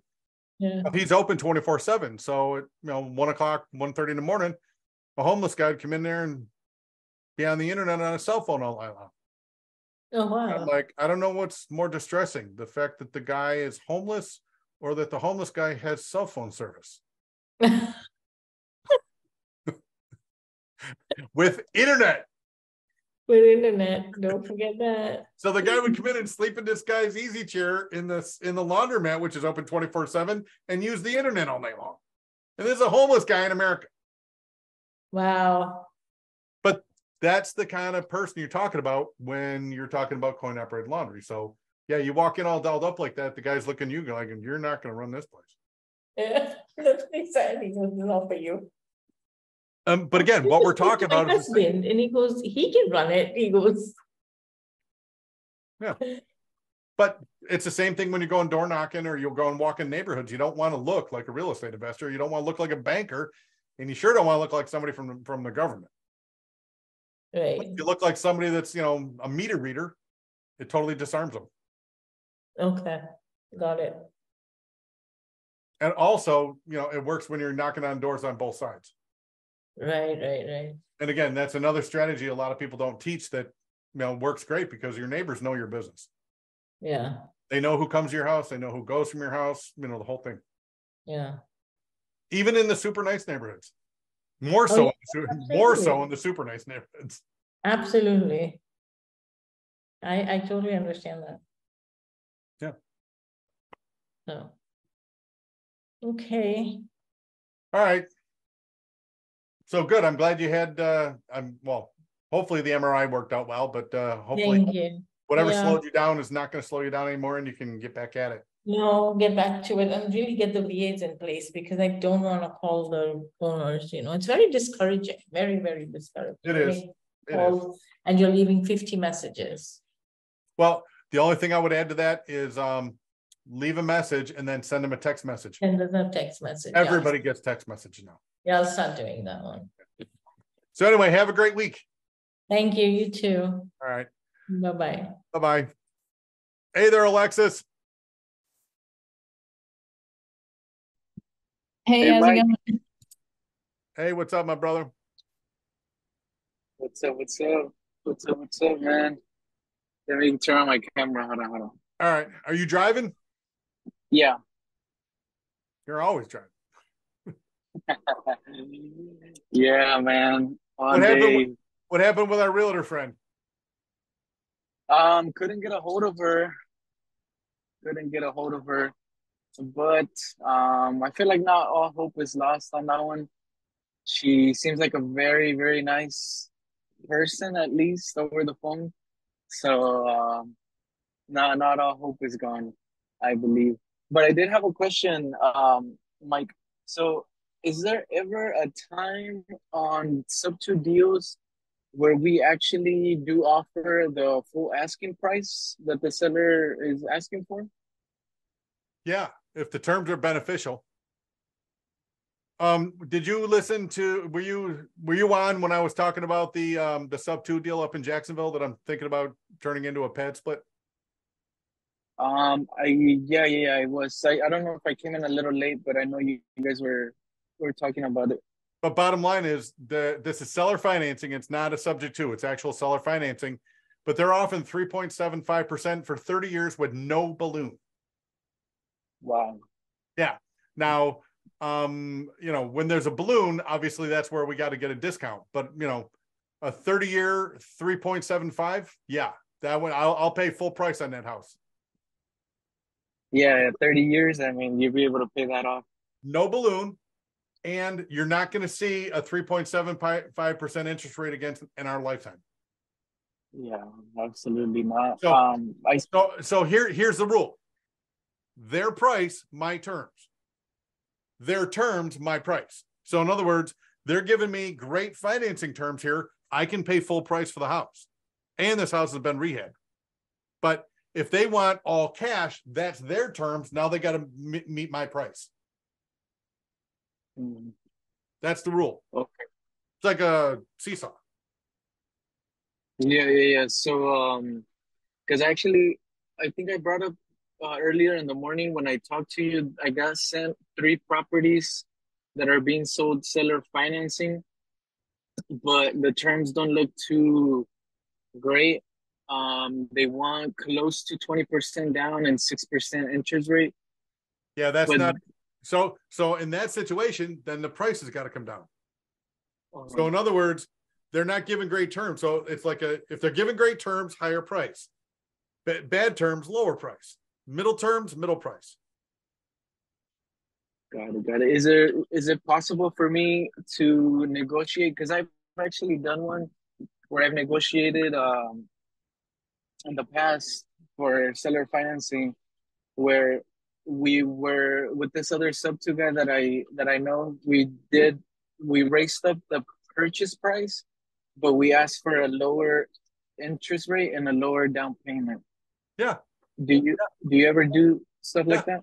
Yeah that's the thing about creative financing, owner financing is you get to create the rules. Okay.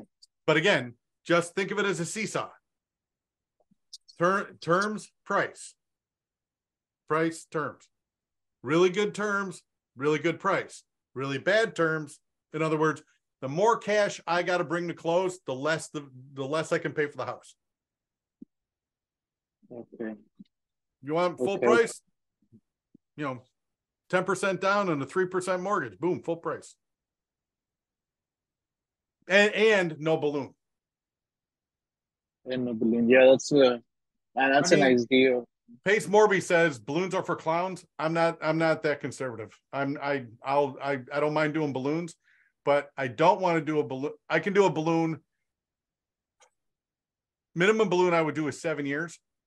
And I know that this market is going to drop for another three and a half years. It'll level out and then start climbing back up. So seven years from now, the market will have bottomed out and we'll start climbing back up and we'll start getting appreciation again. Okay. But if you get a Yeah, if you get a shorter balloon than that, you could get stuck with a house that you've got seller finance that you can't get out of because you're underwater. Yeah, yeah, that's uh that's that's something that I want to make sure I always I don't I don't want to negotiate myself into something I can't really do, especially since I don't really know how to underwrite right now. Yeah. I don't want to I rather under promise and over deliver Yep. than to, you know, over promise and then like I'm not even um coming in close to what I had promised. So I just wanted to kind of understand on that property, the one with where the realtor is the agent. Yeah. I mean, where the realtor is the seller.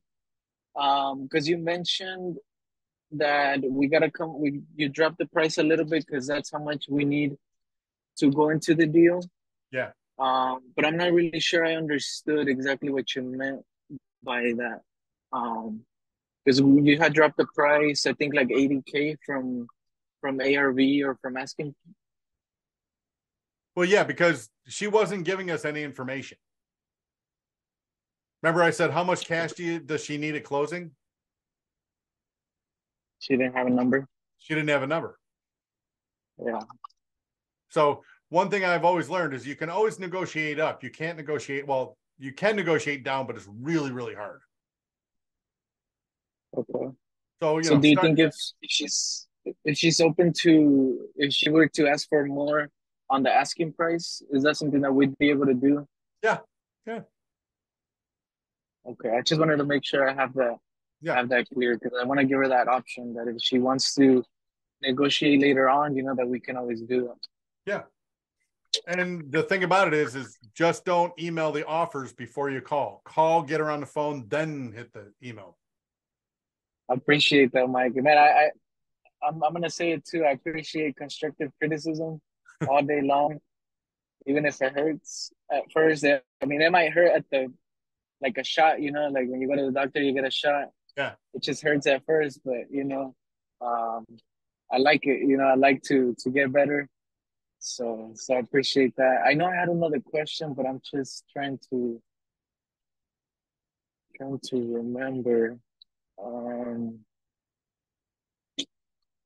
uh, oh yes. Um, so do you ever consider, because I know you were talking about PropWire right now Yeah. and skip tracing people for 10 cents. Yep. Um, because I have two properties that are, are listed on MLS. They got, they look like they got, they just bought them like a year ago. They'd be great sub two deals because the sellers can't sell them for that asking price. Um, and, I want to be able to, um, if I can skip trace them, do, would you ever recommend mailing them like a postcard or a, you know a letter or something, letting them know that you're interested in their home? Let me let me give you a tip here. I, I can tell you most mailers and most postcards have about a one to two percent response rate. So for that means for every hundred postcards or or traditional mailers that you send, you're going to get one or two responses. That's why it's cost prohibitive now. Now, I've got something I learned from Ron LeGrand 15 years ago that is the coolest thing ever. Have you ever heard of the yellow letter? Um, like it sounds familiar. I'm not sure. No, I don't think so. You take a legal pad like this and you write on it, Hi, my name's Mike Grady. You put your name, not mine. Hi, my name's Mike Grady. I'd like to buy your house at, put in the address. Please call me at, put in your phone number, sign it, and then put PS, please call. Put that in to an envelope.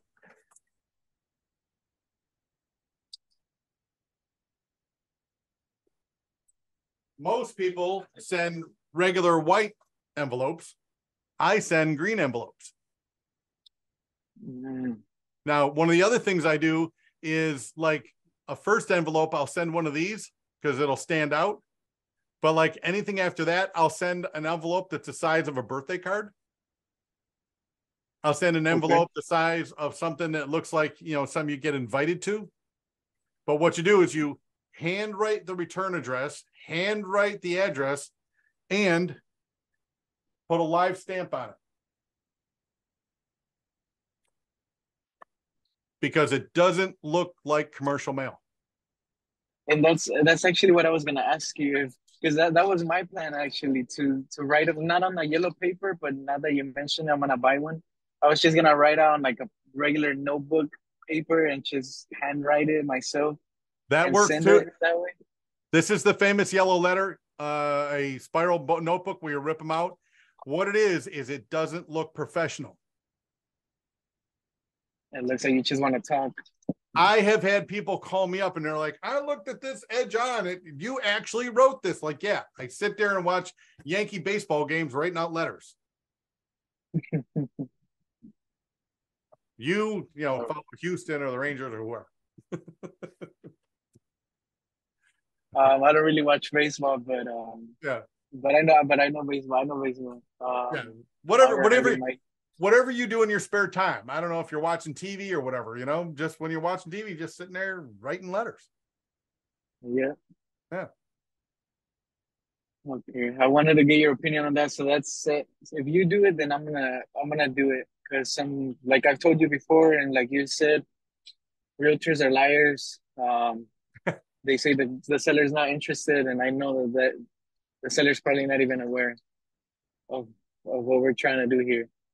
Yeah, and, the thing about, especially when it comes to anything other than get the listing, show up at closing, and collect a check, if the realtor doesn't know, they're going to say no just because they don't know, and they're going to tell you that they that they gave your offer to the to the buyer or the seller.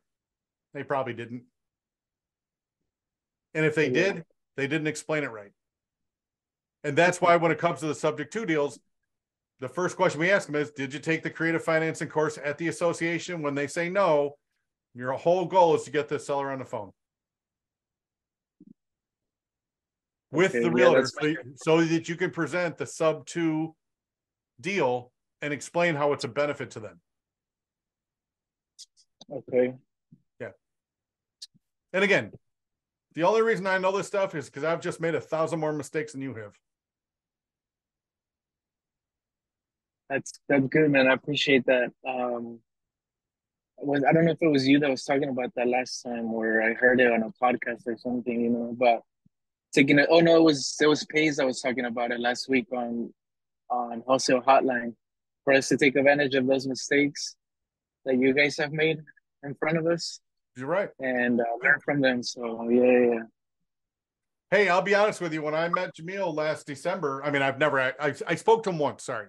But um, when I heard him talk about, I mean, I, I was feeling bad for myself because back in 2008 and nine, I lost three and a half million dollars from real estate. Then I heard Jamil say he lost 50 million. I didn't feel so bad. I still felt bad, trust me. Oh, 50 is a long way from three and a half. yeah, yeah. yeah. Oh man.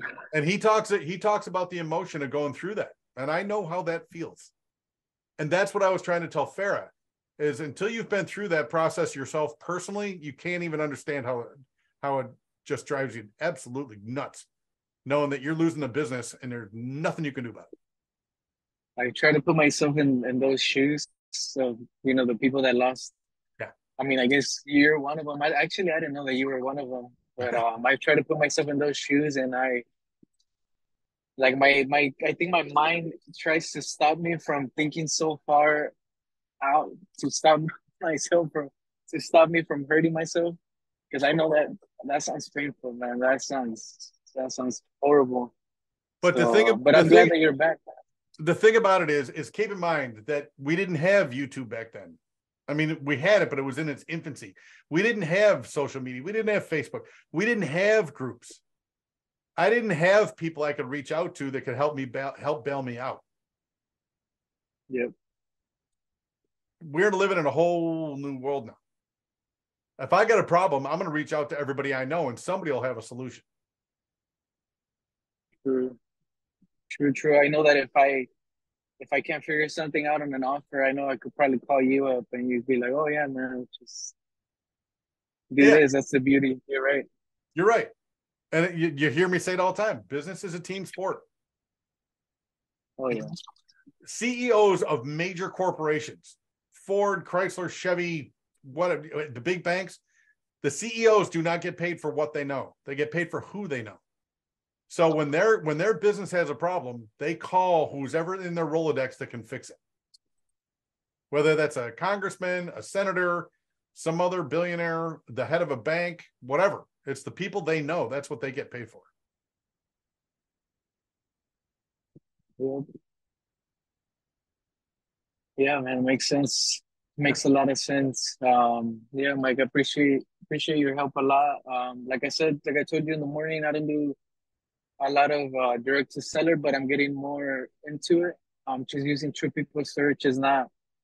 Sometimes it doesn't go well with the right phone numbers or whatever, but True um, people I'm search getting a little bit better. TruePeopleSearch is accurate about 50%, maybe 55% of the time. Yeah, I've noticed it. I've noticed that. But, uh, But yeah, I'm gonna be doing a lot more. Trout PropWire, it's free and it's 10 cents for a, for it costs you 10 cents to do a skip trace. Is um, I was I was actually trying it out right now when you guys were talking about it. Um, do you feel like it's pretty accurate? It, it's- it seems pretty accurate on the estimation of mortgages and stuff like that. Yeah. I mean, I don't have anything to cross reference it with, you know, right now. But, you know, as long as it gives me a ballpark. Okay. Um, what's it called? I'm I'm trying to get into the the understanding how to underwrite sub two deals. Um, the reason why is because I've had some agents, and sometimes I don't even know if it's worth pursuing the properties or not. But some agents are like, "Well, just send me what you got, your offer," um, because I don't have the most recent bank sta- bank statement or whatever. But just send me your offer. Um, so I kind of want to get good at like estimating, like underwriting the deal, so that way I can maybe get into talking with the sellers about the possibility of us doing a sub two deal. And again, you got to get away from that, man. When you send them your offer, they're prejudging you. When it comes to these creative deals, if they've never done a sub two deal, if they haven't taken that course, which means they don't know what they're talking about, you, you the next thing is let's get on the phone with the seller. I will explain the offer to you and the seller at the exact same time. And by the way, the seller knows how much they pay every month. Yeah. Everybody who has a mortgage knows how much they pay every month. They write the check, same check every month on the same day. Yeah, And they- true, true. And they have their mortgage statement, so they know what the balance is and they know what the what the um rate is. It's on the statement. So that realtor saying, just send me what you got, that's the realtor just trying to prejudge you. Makes sense. Makes sense. Yeah. Alrighty, Mike. Yeah, yeah, I'll I'll get into more of the direct to sellers, so that way I'm I'm direct to the source. Um, I feel like I'm pretty good at talking to sellers Yeah. from the very few experiences I've had. Yeah. Um, so so I'll go I'll go that route, even though Jamil doesn't like it. I mean, I I like it. You know, I like the I like the other avenue, especially on creative sites. So Yeah. so I'll be getting more into that. And keep in mind, you're saving yourself a whole bunch of money on the realtor commissions. Same thing with the seller. Tell the seller, hey, listen, you know, I mean, obviously not if you're doing a listed property, but uh, you know, direct to seller, that's a big selling point is, you know, when you deal with me, you don't have to deal with you don't have to deal with uh paying realtor commissions. You're gonna save seven percent. Seven percent on a hundred thousand dollars house is seven grand. Two hundred thousand dollar house, is fourteen. That's starting to get into real money when you get into three three hundred thousand dollar house. Yep. Here, just keep put that right in your pocket. But again, as always, you know, man, you can always call me or text me if you got any questions whatsoever. Okay. Alrighty, Mike. I'll do that. I'll do that. Um, I'll keep you posted. I'm gonna keep uh, this property on the loop. Um, because it is gonna sit for a while, I'm pretty sure. So so we'll see what happens. Whatever happened to that expired listing guy? Um, I haven't been able to get a hold of him again. And actually I haven't even checked if the property went up on the market after all or not, Yeah. to be honest with you. Yeah, there's no such thing as a paused listing. So when that realtor's like, oh yeah, you know, we just paused it, like, no, no, send me a copy of your listing agreement. Oh man, I can't just imagine, man, what the realtor was gonna say whenever I asked for the listing agreement. Well, you're calling his bluff. You know, you you know you called it because it was listed as an expired listing, and then you called, and all of a sudden, magically, it was unpaused. Yeah, yeah, yeah. I mean, I could, I mean, I guess I could give them a little bit of grace, you know, if the if the sellers are the ones that told him to call me. Yeah. But if I was you, because you know you've got the seller's number, just just treat keep trying to get a hold of the seller. Now, if the old man is sick and in the hospital, you're gonna definitely want to talk to the wife. Yeah. But you know, just say, hey, listen, that's fine. You know, you want to have your realtor, but uh, we'll I'll talk directly with you, and he can be on the phone. See what true. what you're doing is you you know you kind of do it in reverse. You already got the seller, you've already got a relationship with him. Now the real he just is scared, so he wants to have his real estate professional on the phone. Well, that's fine. The real estate professional can be on the phone, but this is a transaction between you and I. You know, you and you and the seller. Okay, and just so so you're aware, Mike, um, like I told you the story, but the that the agent told me, then that means our offer would probably have to change because, like I said, the it seems like the wife is trying to move down to Tyler, Texas, where the the husband is hospitalized at. Yeah. So our offer might have to change, but I mean, either way, I'm pretty sure we can work something out because it's a nice property. Yeah, absolutely. Yeah. Yeah, sounds good, Mike. Sounds good. Appreciate your help. All right, man. Talk to you tomorrow. All righty. thank you. Hey, Lex Lindsay. What's going on? Oh, well, it's Monday night, having a good time talking about real estate. Yes, yes, yes. How can I Um, help you?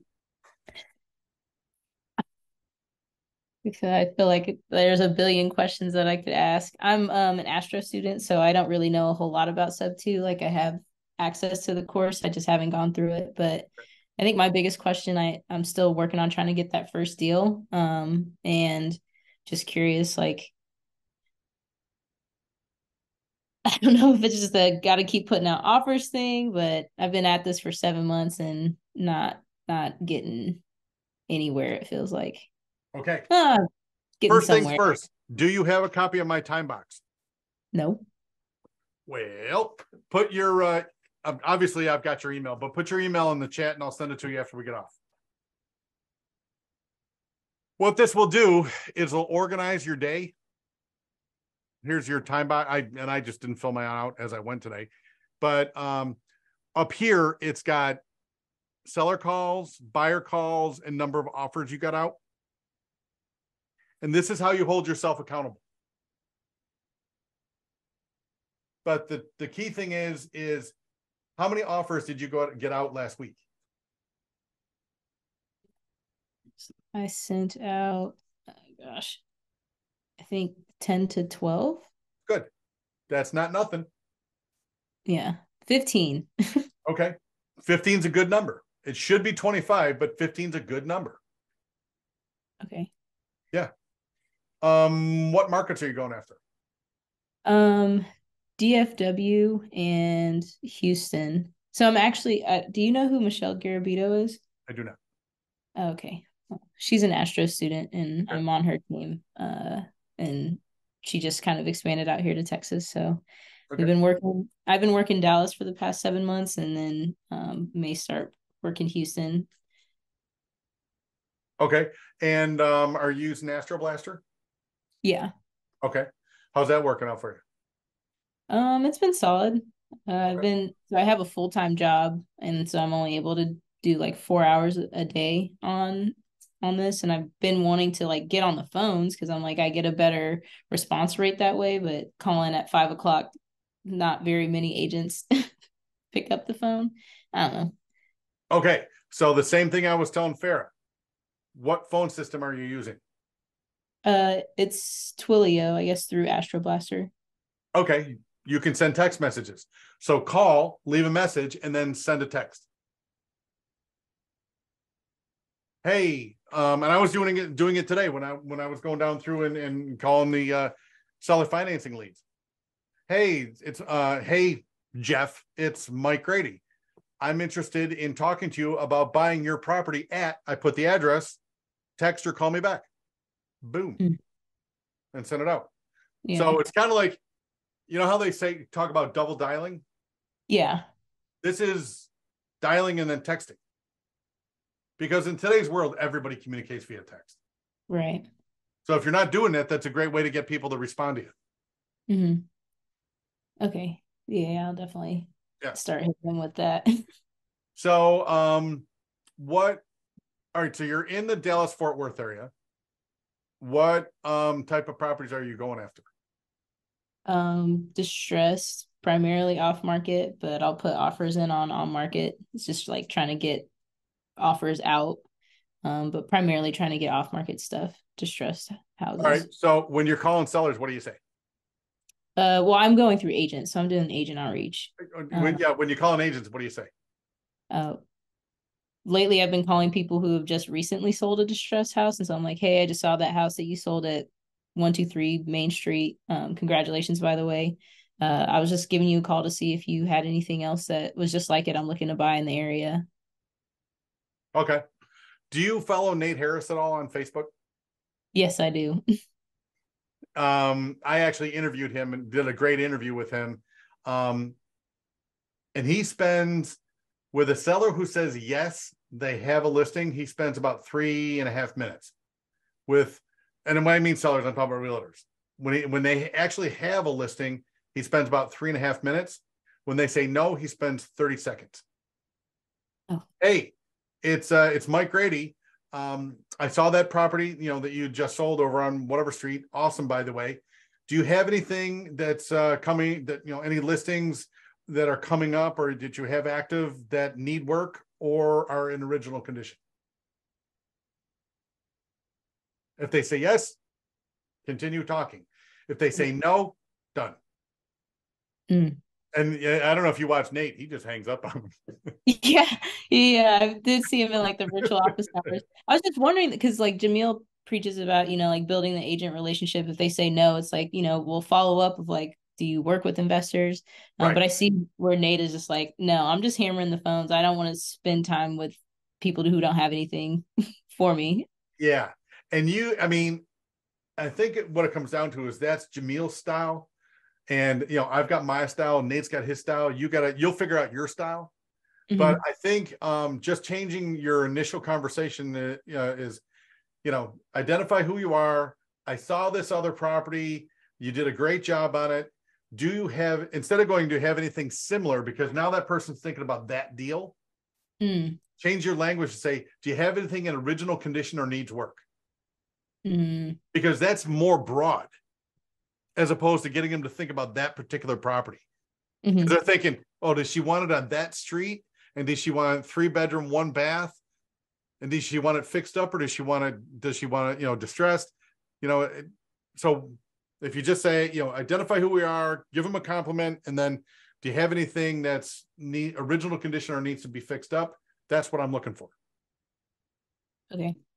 I think I think that might get to the point a little bit faster. Yeah, yeah, yeah, for sure. Yeah. Um, dang, I did have a question now. I forgot. All right, for next week, write them down. Yeah. Because everyone is like, I remember the first two, but I had five more. Yeah. Dang it. And I'm always here. I'm gonna be, I'm always gonna be here. I love doing this. Sweet. Well, thank you so much. I appreciate it. I've been I was trying to get on the one last week and the one where you interviewed Nathan, but I, I just wasn't able to make it after work. So Well, I always you do a, I do a right. replay. This one's gonna need to be edited a little bit, but because we had an idiot on earlier. oh shit. Yeah. Cool. Well, I appreciate your help and yeah, if I have any questions, I'll definitely hit you up. Send me a text or you know, uh, give me a call. Will do. Thanks. Have you got any buyers out there in Dallas? Um, no, actually that was the question. There we go. So I have I've been working with Michelle and her like her whole system is like I'm just getting leads. I think I'm just bird dogging and she's sending them, you know, she's running the numbers and stuff. But like I'm starting to get the feeling that maybe I should be building up my own buyers list to get an idea of like how are these guys running their numbers because like I've talked to a couple of like Pooja and Hanoi and I mean they all run their numbers the same way. It's like 70 75% minus repairs. But I'm like are there other investors out there that are maybe not buying at that or using that same formula? Okay, that formula 70 or 75% minus repairs. Yeah. Um, that's the way I used to do it. have you ever rehabbed a house in your life? Are you a licensed contractor? Here's the thing. Have you ever done a project and you had to go to Lowe's four or five times? No? Nope. For all the guys on this call, we know exactly what I'm talking about. Whenever we have a project, because we don't do it all the time, you end up going back and forth to Lowe's three or four times.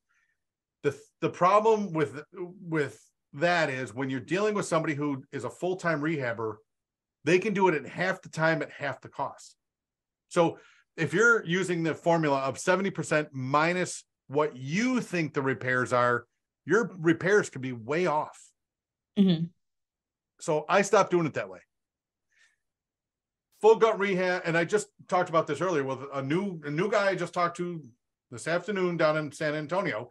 And he, I mean, he rehab stuff that his houses look awesome. Um, but he'll do a full gut rehab at 50 cents on the dollar. He'll do a lipstick at 60. Well, if I'm looking at a rehab in San Antonio, I know I got to get it 40% of ARV. So he'll buy it for me at 50. See how I don't even care what the rehab costs are because he does it full time. He's probably got crews that get in there. He's got uh, um, wholesale contracts with suppliers, so he can buy it cheaper than I can buy it. So if you're using the formula, that means you got to know how to rehab. You got to know how to, you know, quote out.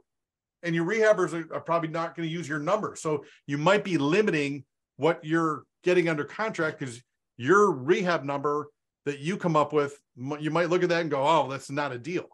Where somebody who does it professionally is like, oh, my margins are way tighter than that. Yeah. So I'd say instead of using that old model of 70 minus repairs, which is how I learned it from Ron LeGrand, now I'm just a straight percentage. Okay. And that's how Jamil teaches it too. It's just like have uh, like all a lot of the dispo people that I've run into here, that's how they say they run the they run their numbers 70 or 75% minus repairs. And I'm like, well, I don't know how much it costs to rehab a house. Exactly. Uh, yes. So just try to lock stuff up at 50% or less. Now, if it's a turnkey house, obviously it doesn't have to be that low, Right. you know? And if it's a if it, it's a lipstick remodel, you know, rule of thumb, you got to be below 60%. And what is lips what's a lipstick remodel? I'm guessing it just needs paint, carpet, And granite countertops. and granite countertops. Okay. That's. That's all they're changing. What about stuff that, so uh, anything outside of that, it's like if you need to rehab the kitchen, or like update the kitchen, update the bathrooms and stuff, it that's what you would consider a full That's a gut. that's a full gut because you gotta, yeah, that's a tear out. It's the same thing with the roof too. Roof is a major expenditure. Mm. So if it needs any of those like major repairs, it's probably Lipstick is basically carpet, paint, and granite countertops. okay. But anything more than that, just count it as a full gut and just go forty percent. And then when you know you walk, you know, you call up a buyer and like, hey, listen, I got this two hundred thousand dollar house. Will you take it at a hundred grand? Oh, by you know, it's a lipstick remodel. They're gonna be like, hell yeah. Would you recommend like starting to build up a buyer's list? Because I've been going heavy on AC, but at this point I'm like, ah, Every day. man, And and it, it's- I do the same thing that Nate does when you're like, you know, you call up these realtors that are representing this product property, and they'll tell you they're investors. They're investors with a license. Mhm. And that's when you switch right into buyer mode. You know, what are you looking for? Full gut rehabs, lipsticks, turnkey, you know, where you need to buy it at. Well, I don't know. Well, if the property costs a hundred grand and it's a full gut remodel, would you take it at 50 cent, you know, at 50,000? Well, yeah. Well, now you know what his buy box is. but yeah, no, every, every, every phone call you make, if you come across the buyer, switch into buyer mode. okay. And that's how you build a buyer's list.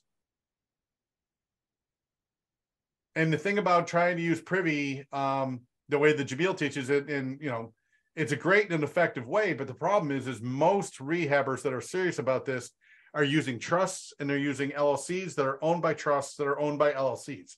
These Yeah. people do not want to be found. You know what I'm talking about Yeah. they do not want to be found. And I have gone, I mean, I've gone down that rabbit hole. I'm like, Jesus, I just spent two hours trying to find a guy and I wasted two hours trying to find a guy. Yeah. I've decided when I, you know, unless unless I can in in Florida we go to sunbiz.org, you know. If if I find an LLC and I find a person's name and it's it's got their home address, sure, that's something I'll go after. But if it's Mhm. an LLC owned by a trust owned by another LLC, forget it. Yeah. Yeah. They don't want to be found. And if you listen to Pace Morby, he, he I just got a video from him last night. He's like, "This is my corporate structure. I've got my trust up here that owns all my personal stuff. Then I got a holding company. Then I got like 50 different LLCs. Then I got this and that and the other thing. He doesn't want to be found. He brags about not wanting to be found. Yeah. And like I said, you could go down a rabbit hole and waste two hours on that. yeah. Don't do it. But when you're calling and you run across a guy like, yeah, you know, I rehab houses, but it's really hard to find stuff. Well, that's what we specialize in. What are you looking for? And then name, cell phone, email. All right. Yeah, I'm gonna start making that one of my days is just like buyer outreach because I just feel like everybody's stuff is different. But that's what I'm saying. You don't need to have a day of buyer outreach. It's just That's when you're calling sellers, when you when you're calling agents. Now, here's another thing that I do. Um, especially for those ones that don't want to be found. One of the nice things about Privy is you can go in and look at the property, and if it's owned by some LLC that doesn't want to be found, go up and call the agent. yeah. And see. Um, the deal, the the the uh the deal that I'm working, the uh, rehab, the full gut rehab that I'm working with Rich White on. Um, he brought it to me, and I've been wholesaling it. What I did is again, I went up into Chicago and I looked at the zip code, and I pulled all of the rehabs that have been done in the last year. Um, and of course, all of them are LLCs, and nobody wants to be found. But I made a list of all the agents and you know privy doesn't give you the agent name so what i do is i take and i put into google chicago realtor realtor's name uh brokerage firm and realtor's name and normally either uh, uh realtor.com comes up or um the chicago board of realtors website comes up normally um realtor.com they'll actually publish their mobile phone Mhm. so, I write, so i write down the mobile phone and i put that in a spreadsheet yeah. the other thing I did is because I didn't have a whole lot of realtors that represented, in other words, they sold the end product from the rehabber. Mhm. So what I did is I looked at all the zip codes around the zip code that our, our property's in and pulled all the realtors that represented properties or sold properties for rehabbers in the zip codes around that zip code. And now I got a list of like, I think 35 realtors. And I got their emails um, from from the real estate board. So now I got Mhm. their cell phone and their emails.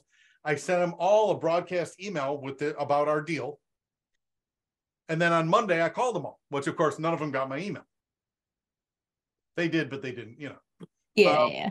And I called them like, you know, like, hey, would you be interested in this deal? And like, you know, 80% of them said yes, and 20% said no.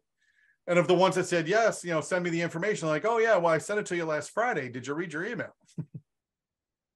Well, send it to me again and probably landed in spam. So I sent it to him again. But now I've spoken to him. Yeah.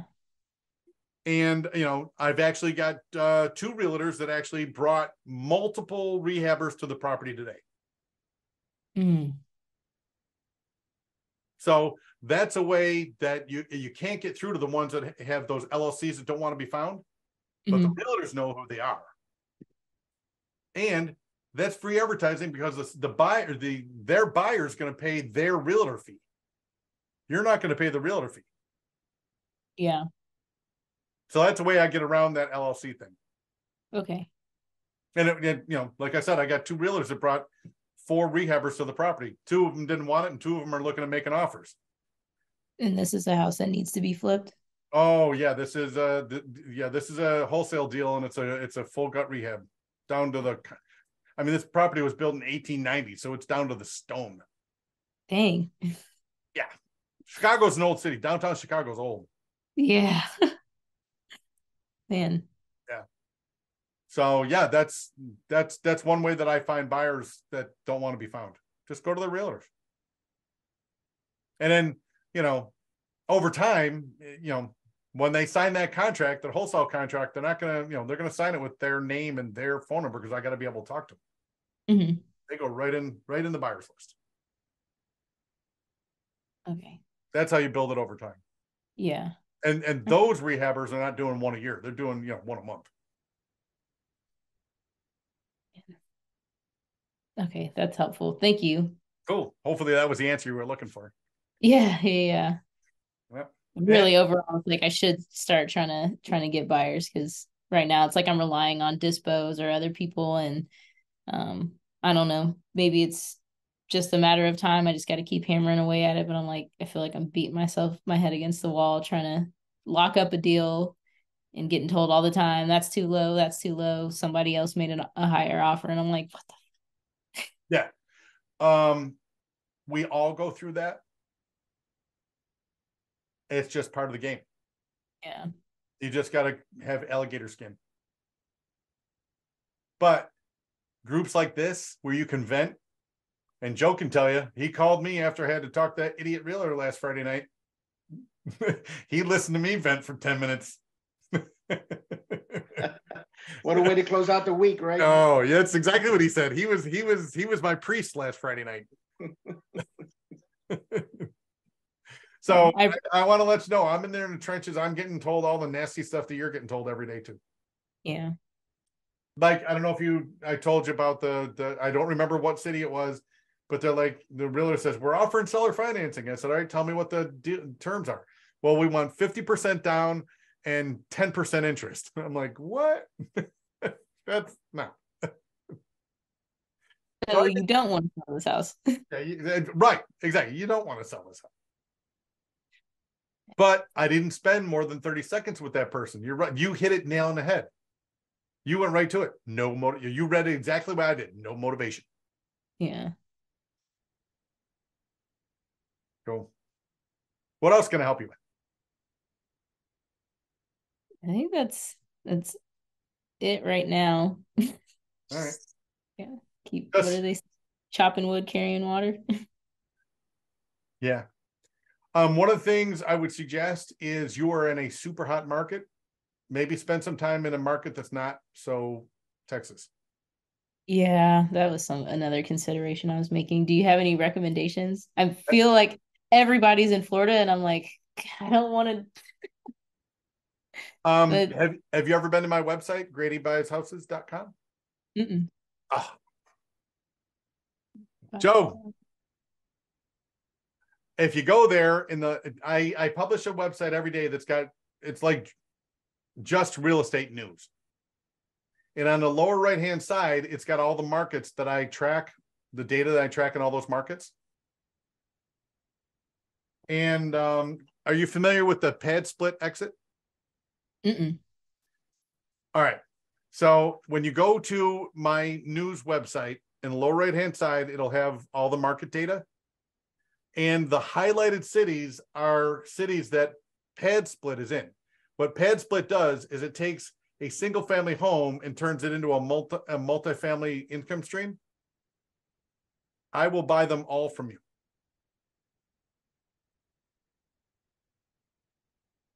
So Wait, because I'm trying to like pull your website up and it just keeps taking me to this slash get an offer. Oh, hang on a second. Hmm. It's Grady buys houses. Dot Dot com com. forward slash real estate, Okay. real estate news. Give me a second. Uh, there, I just, uh, I just put it in the chat. Thank Click you. on- Click on that. All right.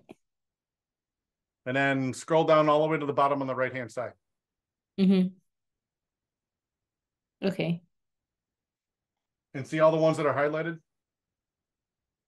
The bold ones? Yep. Yeah.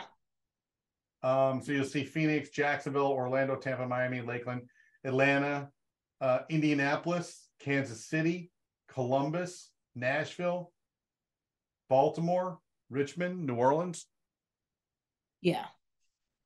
All those are really, really good markets, and you don't hear a lot of gurus talking about them.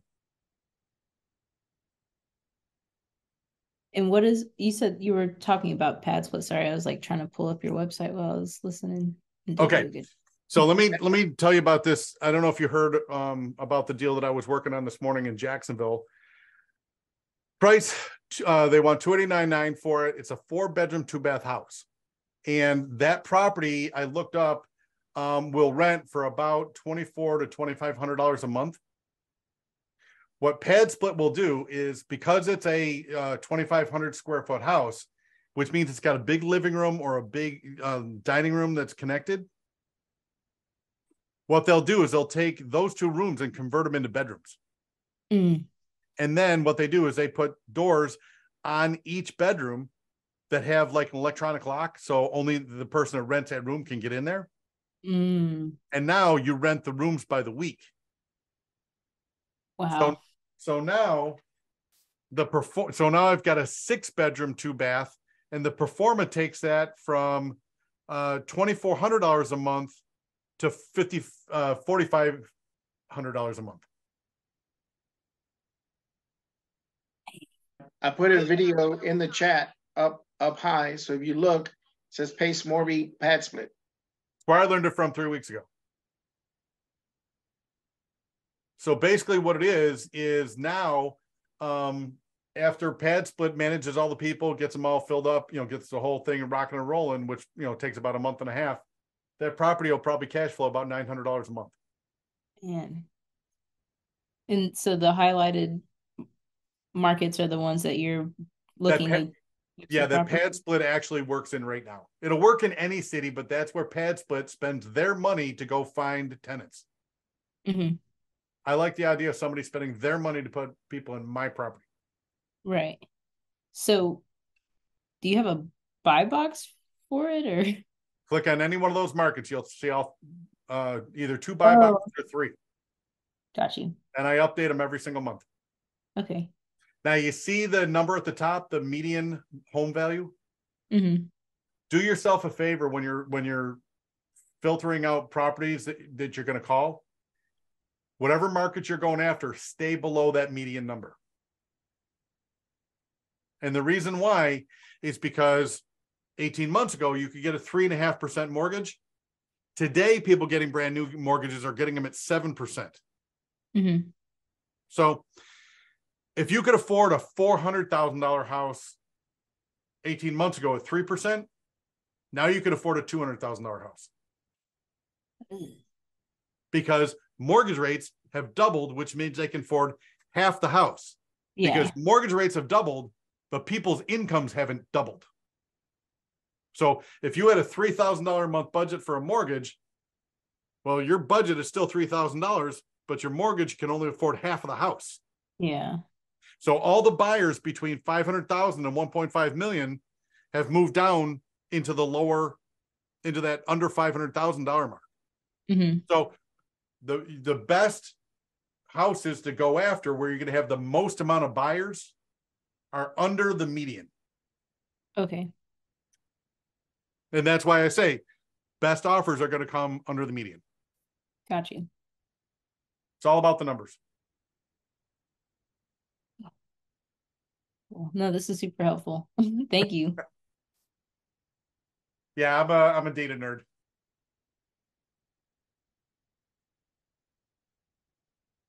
But you know, Texas, Dallas is just as hot as Florida, just like Phoenix and, and Vegas. So that's why I would pick, you know, Baltimore, Richmond, New Orleans. I mean, when was the last time you heard a guru talk about New Orleans? Man, never. And don't get me wrong, I like competition, but I'd rather compete against 500 people as opposed to 10,000. yeah. Yeah. So just go after a secondary market. Another market I like I like a lot is Memphis. Now Memphis is not a PadSplit um, market, but Nashville is. Nashville. Yeah. But Memphis is is a great market. It's not a market that a lot of people talk about, but it's great for flipping.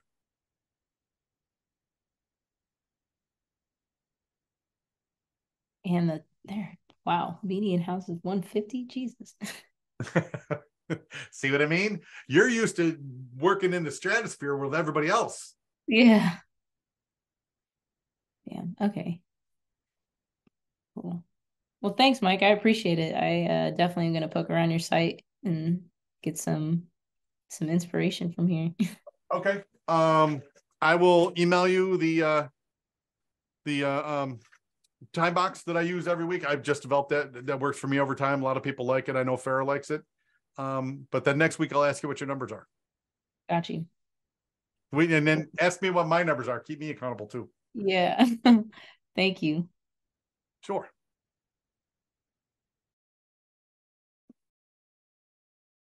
Nope. Sorry. There we go. All right, Joe, baby, you're up.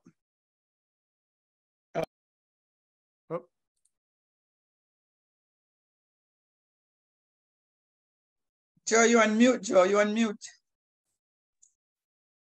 How's that? There we go. Better. Okay. Yeah, I'm working with uh with another investor right now, and he and I are both Gators, and so we're going after uh some Gator deals, and he's put together a, a little program, and and uh, I'm getting we're getting leads. Um, I've got one right now. Um, he's in a tough situation. He's got three, four. He's got actually four subject twos, and they want um, a non-refundable EMD, and that's what he's looking for, some EMD. And I'm like, that's a good, that's a tough sell there, you know, because we're working with other, you know, the name of the game is other people's money. Yep. Yeah, and so it's other people's money, it's their rules. And so I haven't asked yet, but I'm gonna find out really soon if they do that because this guy's an end buyer. He is the end buyer. Yeah. I mean, you know, he's looking for a non-refundable EMD. He better be hundred percent sure it's going to close. Yeah. And so I mean it is because he's the end buyer, There you go. you know. So Yeah. but I've been on the phone with him over the weekend, all day today. and that's what I've been doing pretty much the whole weekend. You know, we started, he did something, he ran something, and now he's he's uh we're getting leads in. I'm I'm setting up an email that we share, Nice. you know, so um it's it's uh it's moving along fast. that that whatever he did, it moves fast. You know, it's like I said last week. There's way more money than there are deals. Yeah. Yeah, and I know, and that's why I got into the Gator thing. I think I can't remember. I think it was in the um how to make uh how to win friends and influence people. The guy uh they tell the story about the the gold rush, 1849. And the guy that um that walked away like millionaire from there. And this is 18 1849, 1850s. And walked away a millionaires because he was the one with the picks and the shovels. He was the one selling the shovels and the picks. Yep. And so that's that's where you put yourself in right now when you're a gator. You're the Yep. one with the picks and the shovels. Yep. Yeah. So we're uh we picked up another um I picked up another uh um private money lender. And so we're we're you know we're gaining traction fast. It's it's moving so fast. Yeah. You know, the money's there. The money's there. Yeah. You know, Just and gotta put the- You and Carol got to get together and and because she's moving too. Yeah. Yes, that, yes, Joe, we definitely have to get together because I'm looking for private money lenders and I'm having a hard time trying to find them. Yeah, they're they're out there. You know, they're not, you, those are the ones you really got to look for. You know, because Yeah. they're particular, very particular about what they what they uh, loan on. Yeah, uh, this week I was looking for one for um, 400,000. I found two guys and um this is particular and then sometimes they'll tell me, oh, I have four deals out there. I'm waiting for money to come in, but they want to hear your deals and they'll string you along. And then after a while, well, it's the intel is not good. Just say that they have money out and they- can't do your deal, but they want to hear about it. But they're, they're out there. Just have to find the one, the right one to Yeah. get it. So yeah. Yeah, I was trying to help this guy fund a deal for 1.4 mil, and he actually got uh, funding for 800,000 of it. So we're still looking for the other six, but he was looking for like um, uh, uh, entry level, like 200k each. But now we're down to 20K. So if you have 20K to get in, or 15K if you want to get in, because it's down to the last, what, 400,000?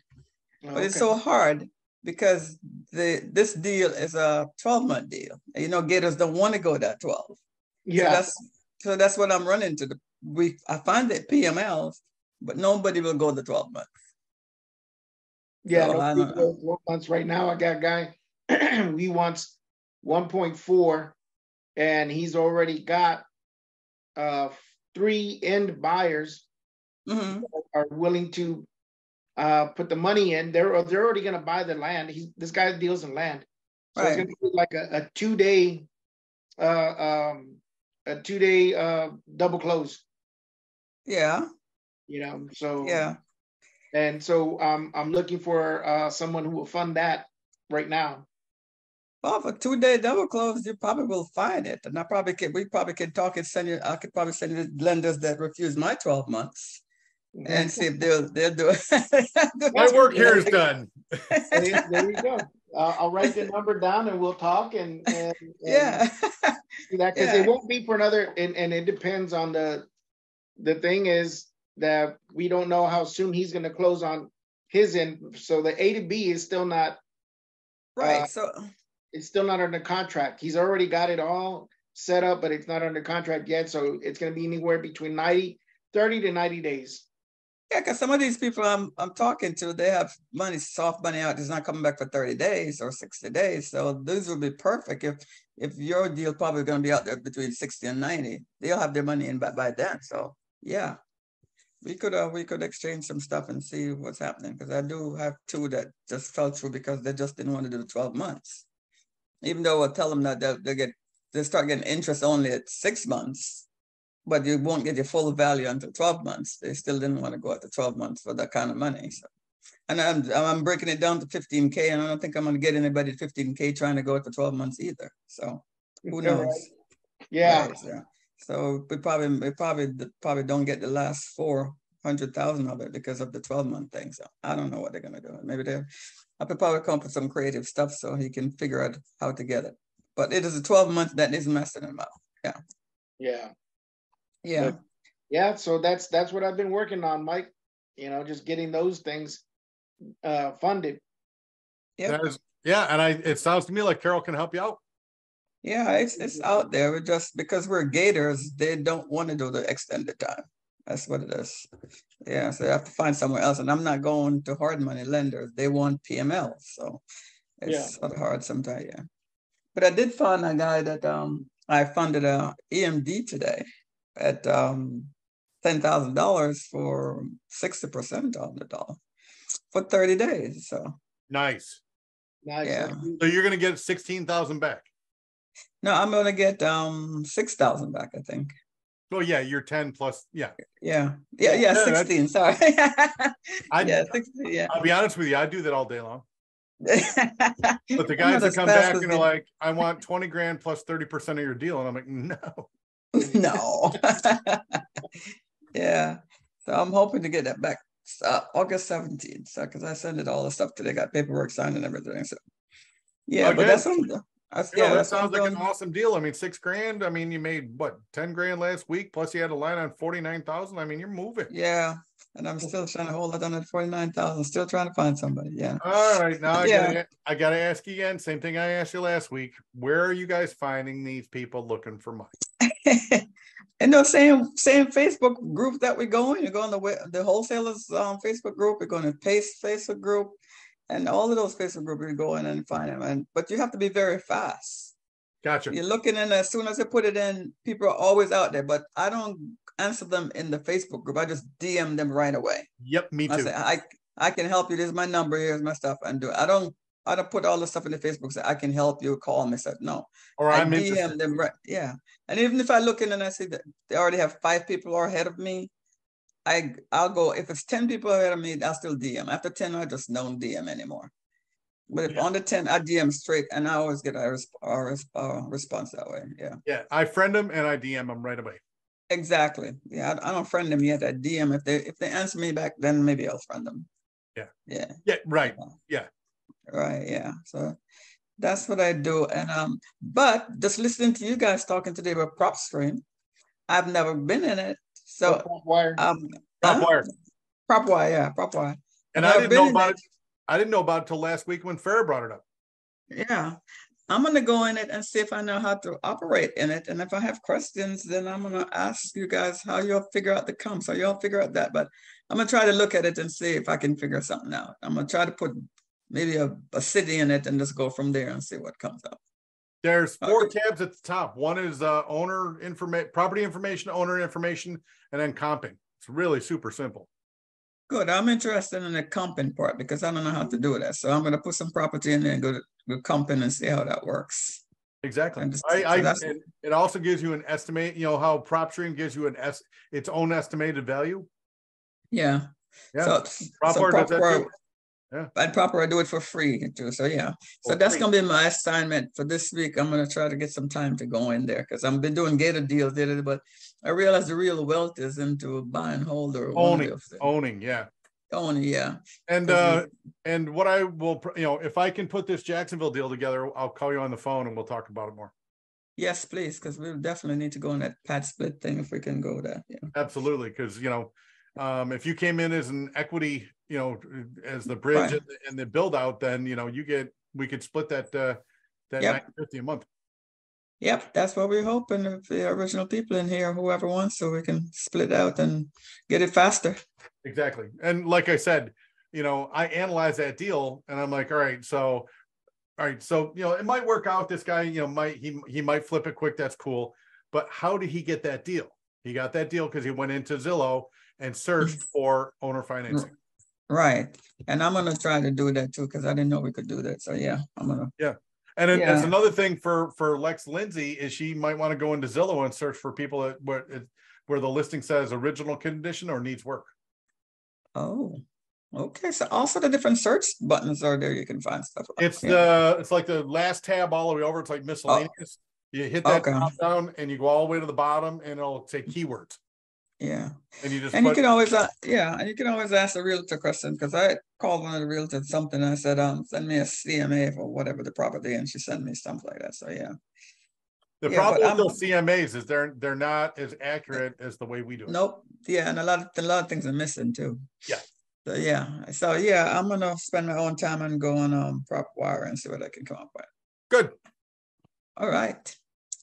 Joe, I kind of ran over you there. What else you got? No, that was it. That was all. yeah, you got you got two for one with Joe and myself. Yeah. Yeah, no, I'm Yeah. gonna put together, I, I got a script from somebody and, um, just to, just put it out there and all the, because I'm in a bunch of, uh, wholesale Facebook groups. right. Yeah. Just put it out there and, and see And see what, what happens. see what Yeah. happens. you What's your Yeah, yeah. what's your script? Yeah. Send us a script, Jay. I mean, I don't have it, uh, on here yet. I just typed it up today. are you're working on it? Yeah. I'm still working on it, but I'll send it, I'll send it out. Uh, Yeah. I'll send it to both of you. Yes. Thank And, you. Yeah. um, Yeah, I'm basically, she was saying like, hey, wholesalers, I know you're crushing it. I know you're making money. You sometimes need funding to double close or do more with, do more with it. Or maybe you're not liquid for EMD. Exactly. Just simple and easy and put it in there. Throw it Yeah. out there, you know, Mhm. con- or DM me or email me or whatever. Yeah, that's and- yeah. And you, you put it in there every week because once it's gone, they don't normally go back. So if you keep putting in, somebody fresh will see it. Yeah. Yep. Right. So yeah. That's the approach I'm gonna try this week and see how. I'll see how that works. Next week. Yeah, that's true. We have to try all different kinds of stuff to get the deals. Yeah. Yeah. And we won't know unless we come to these Zoom calls, we hear what other people do and how it's successful and we go. We're not necessarily competing with them because we're different markets or different things, different Facebook side. Yeah. Well, this is good. I got my nugget. I got my nuggets at the end of the call. My God, I had to sit through two hours to get my nuggets. but it's good. Good lord, have we seriously been doing this for two and a half hours? It seems like yes. yeah, you, you talked to Farah for about an hour plus. you guys got to stop me from doing that.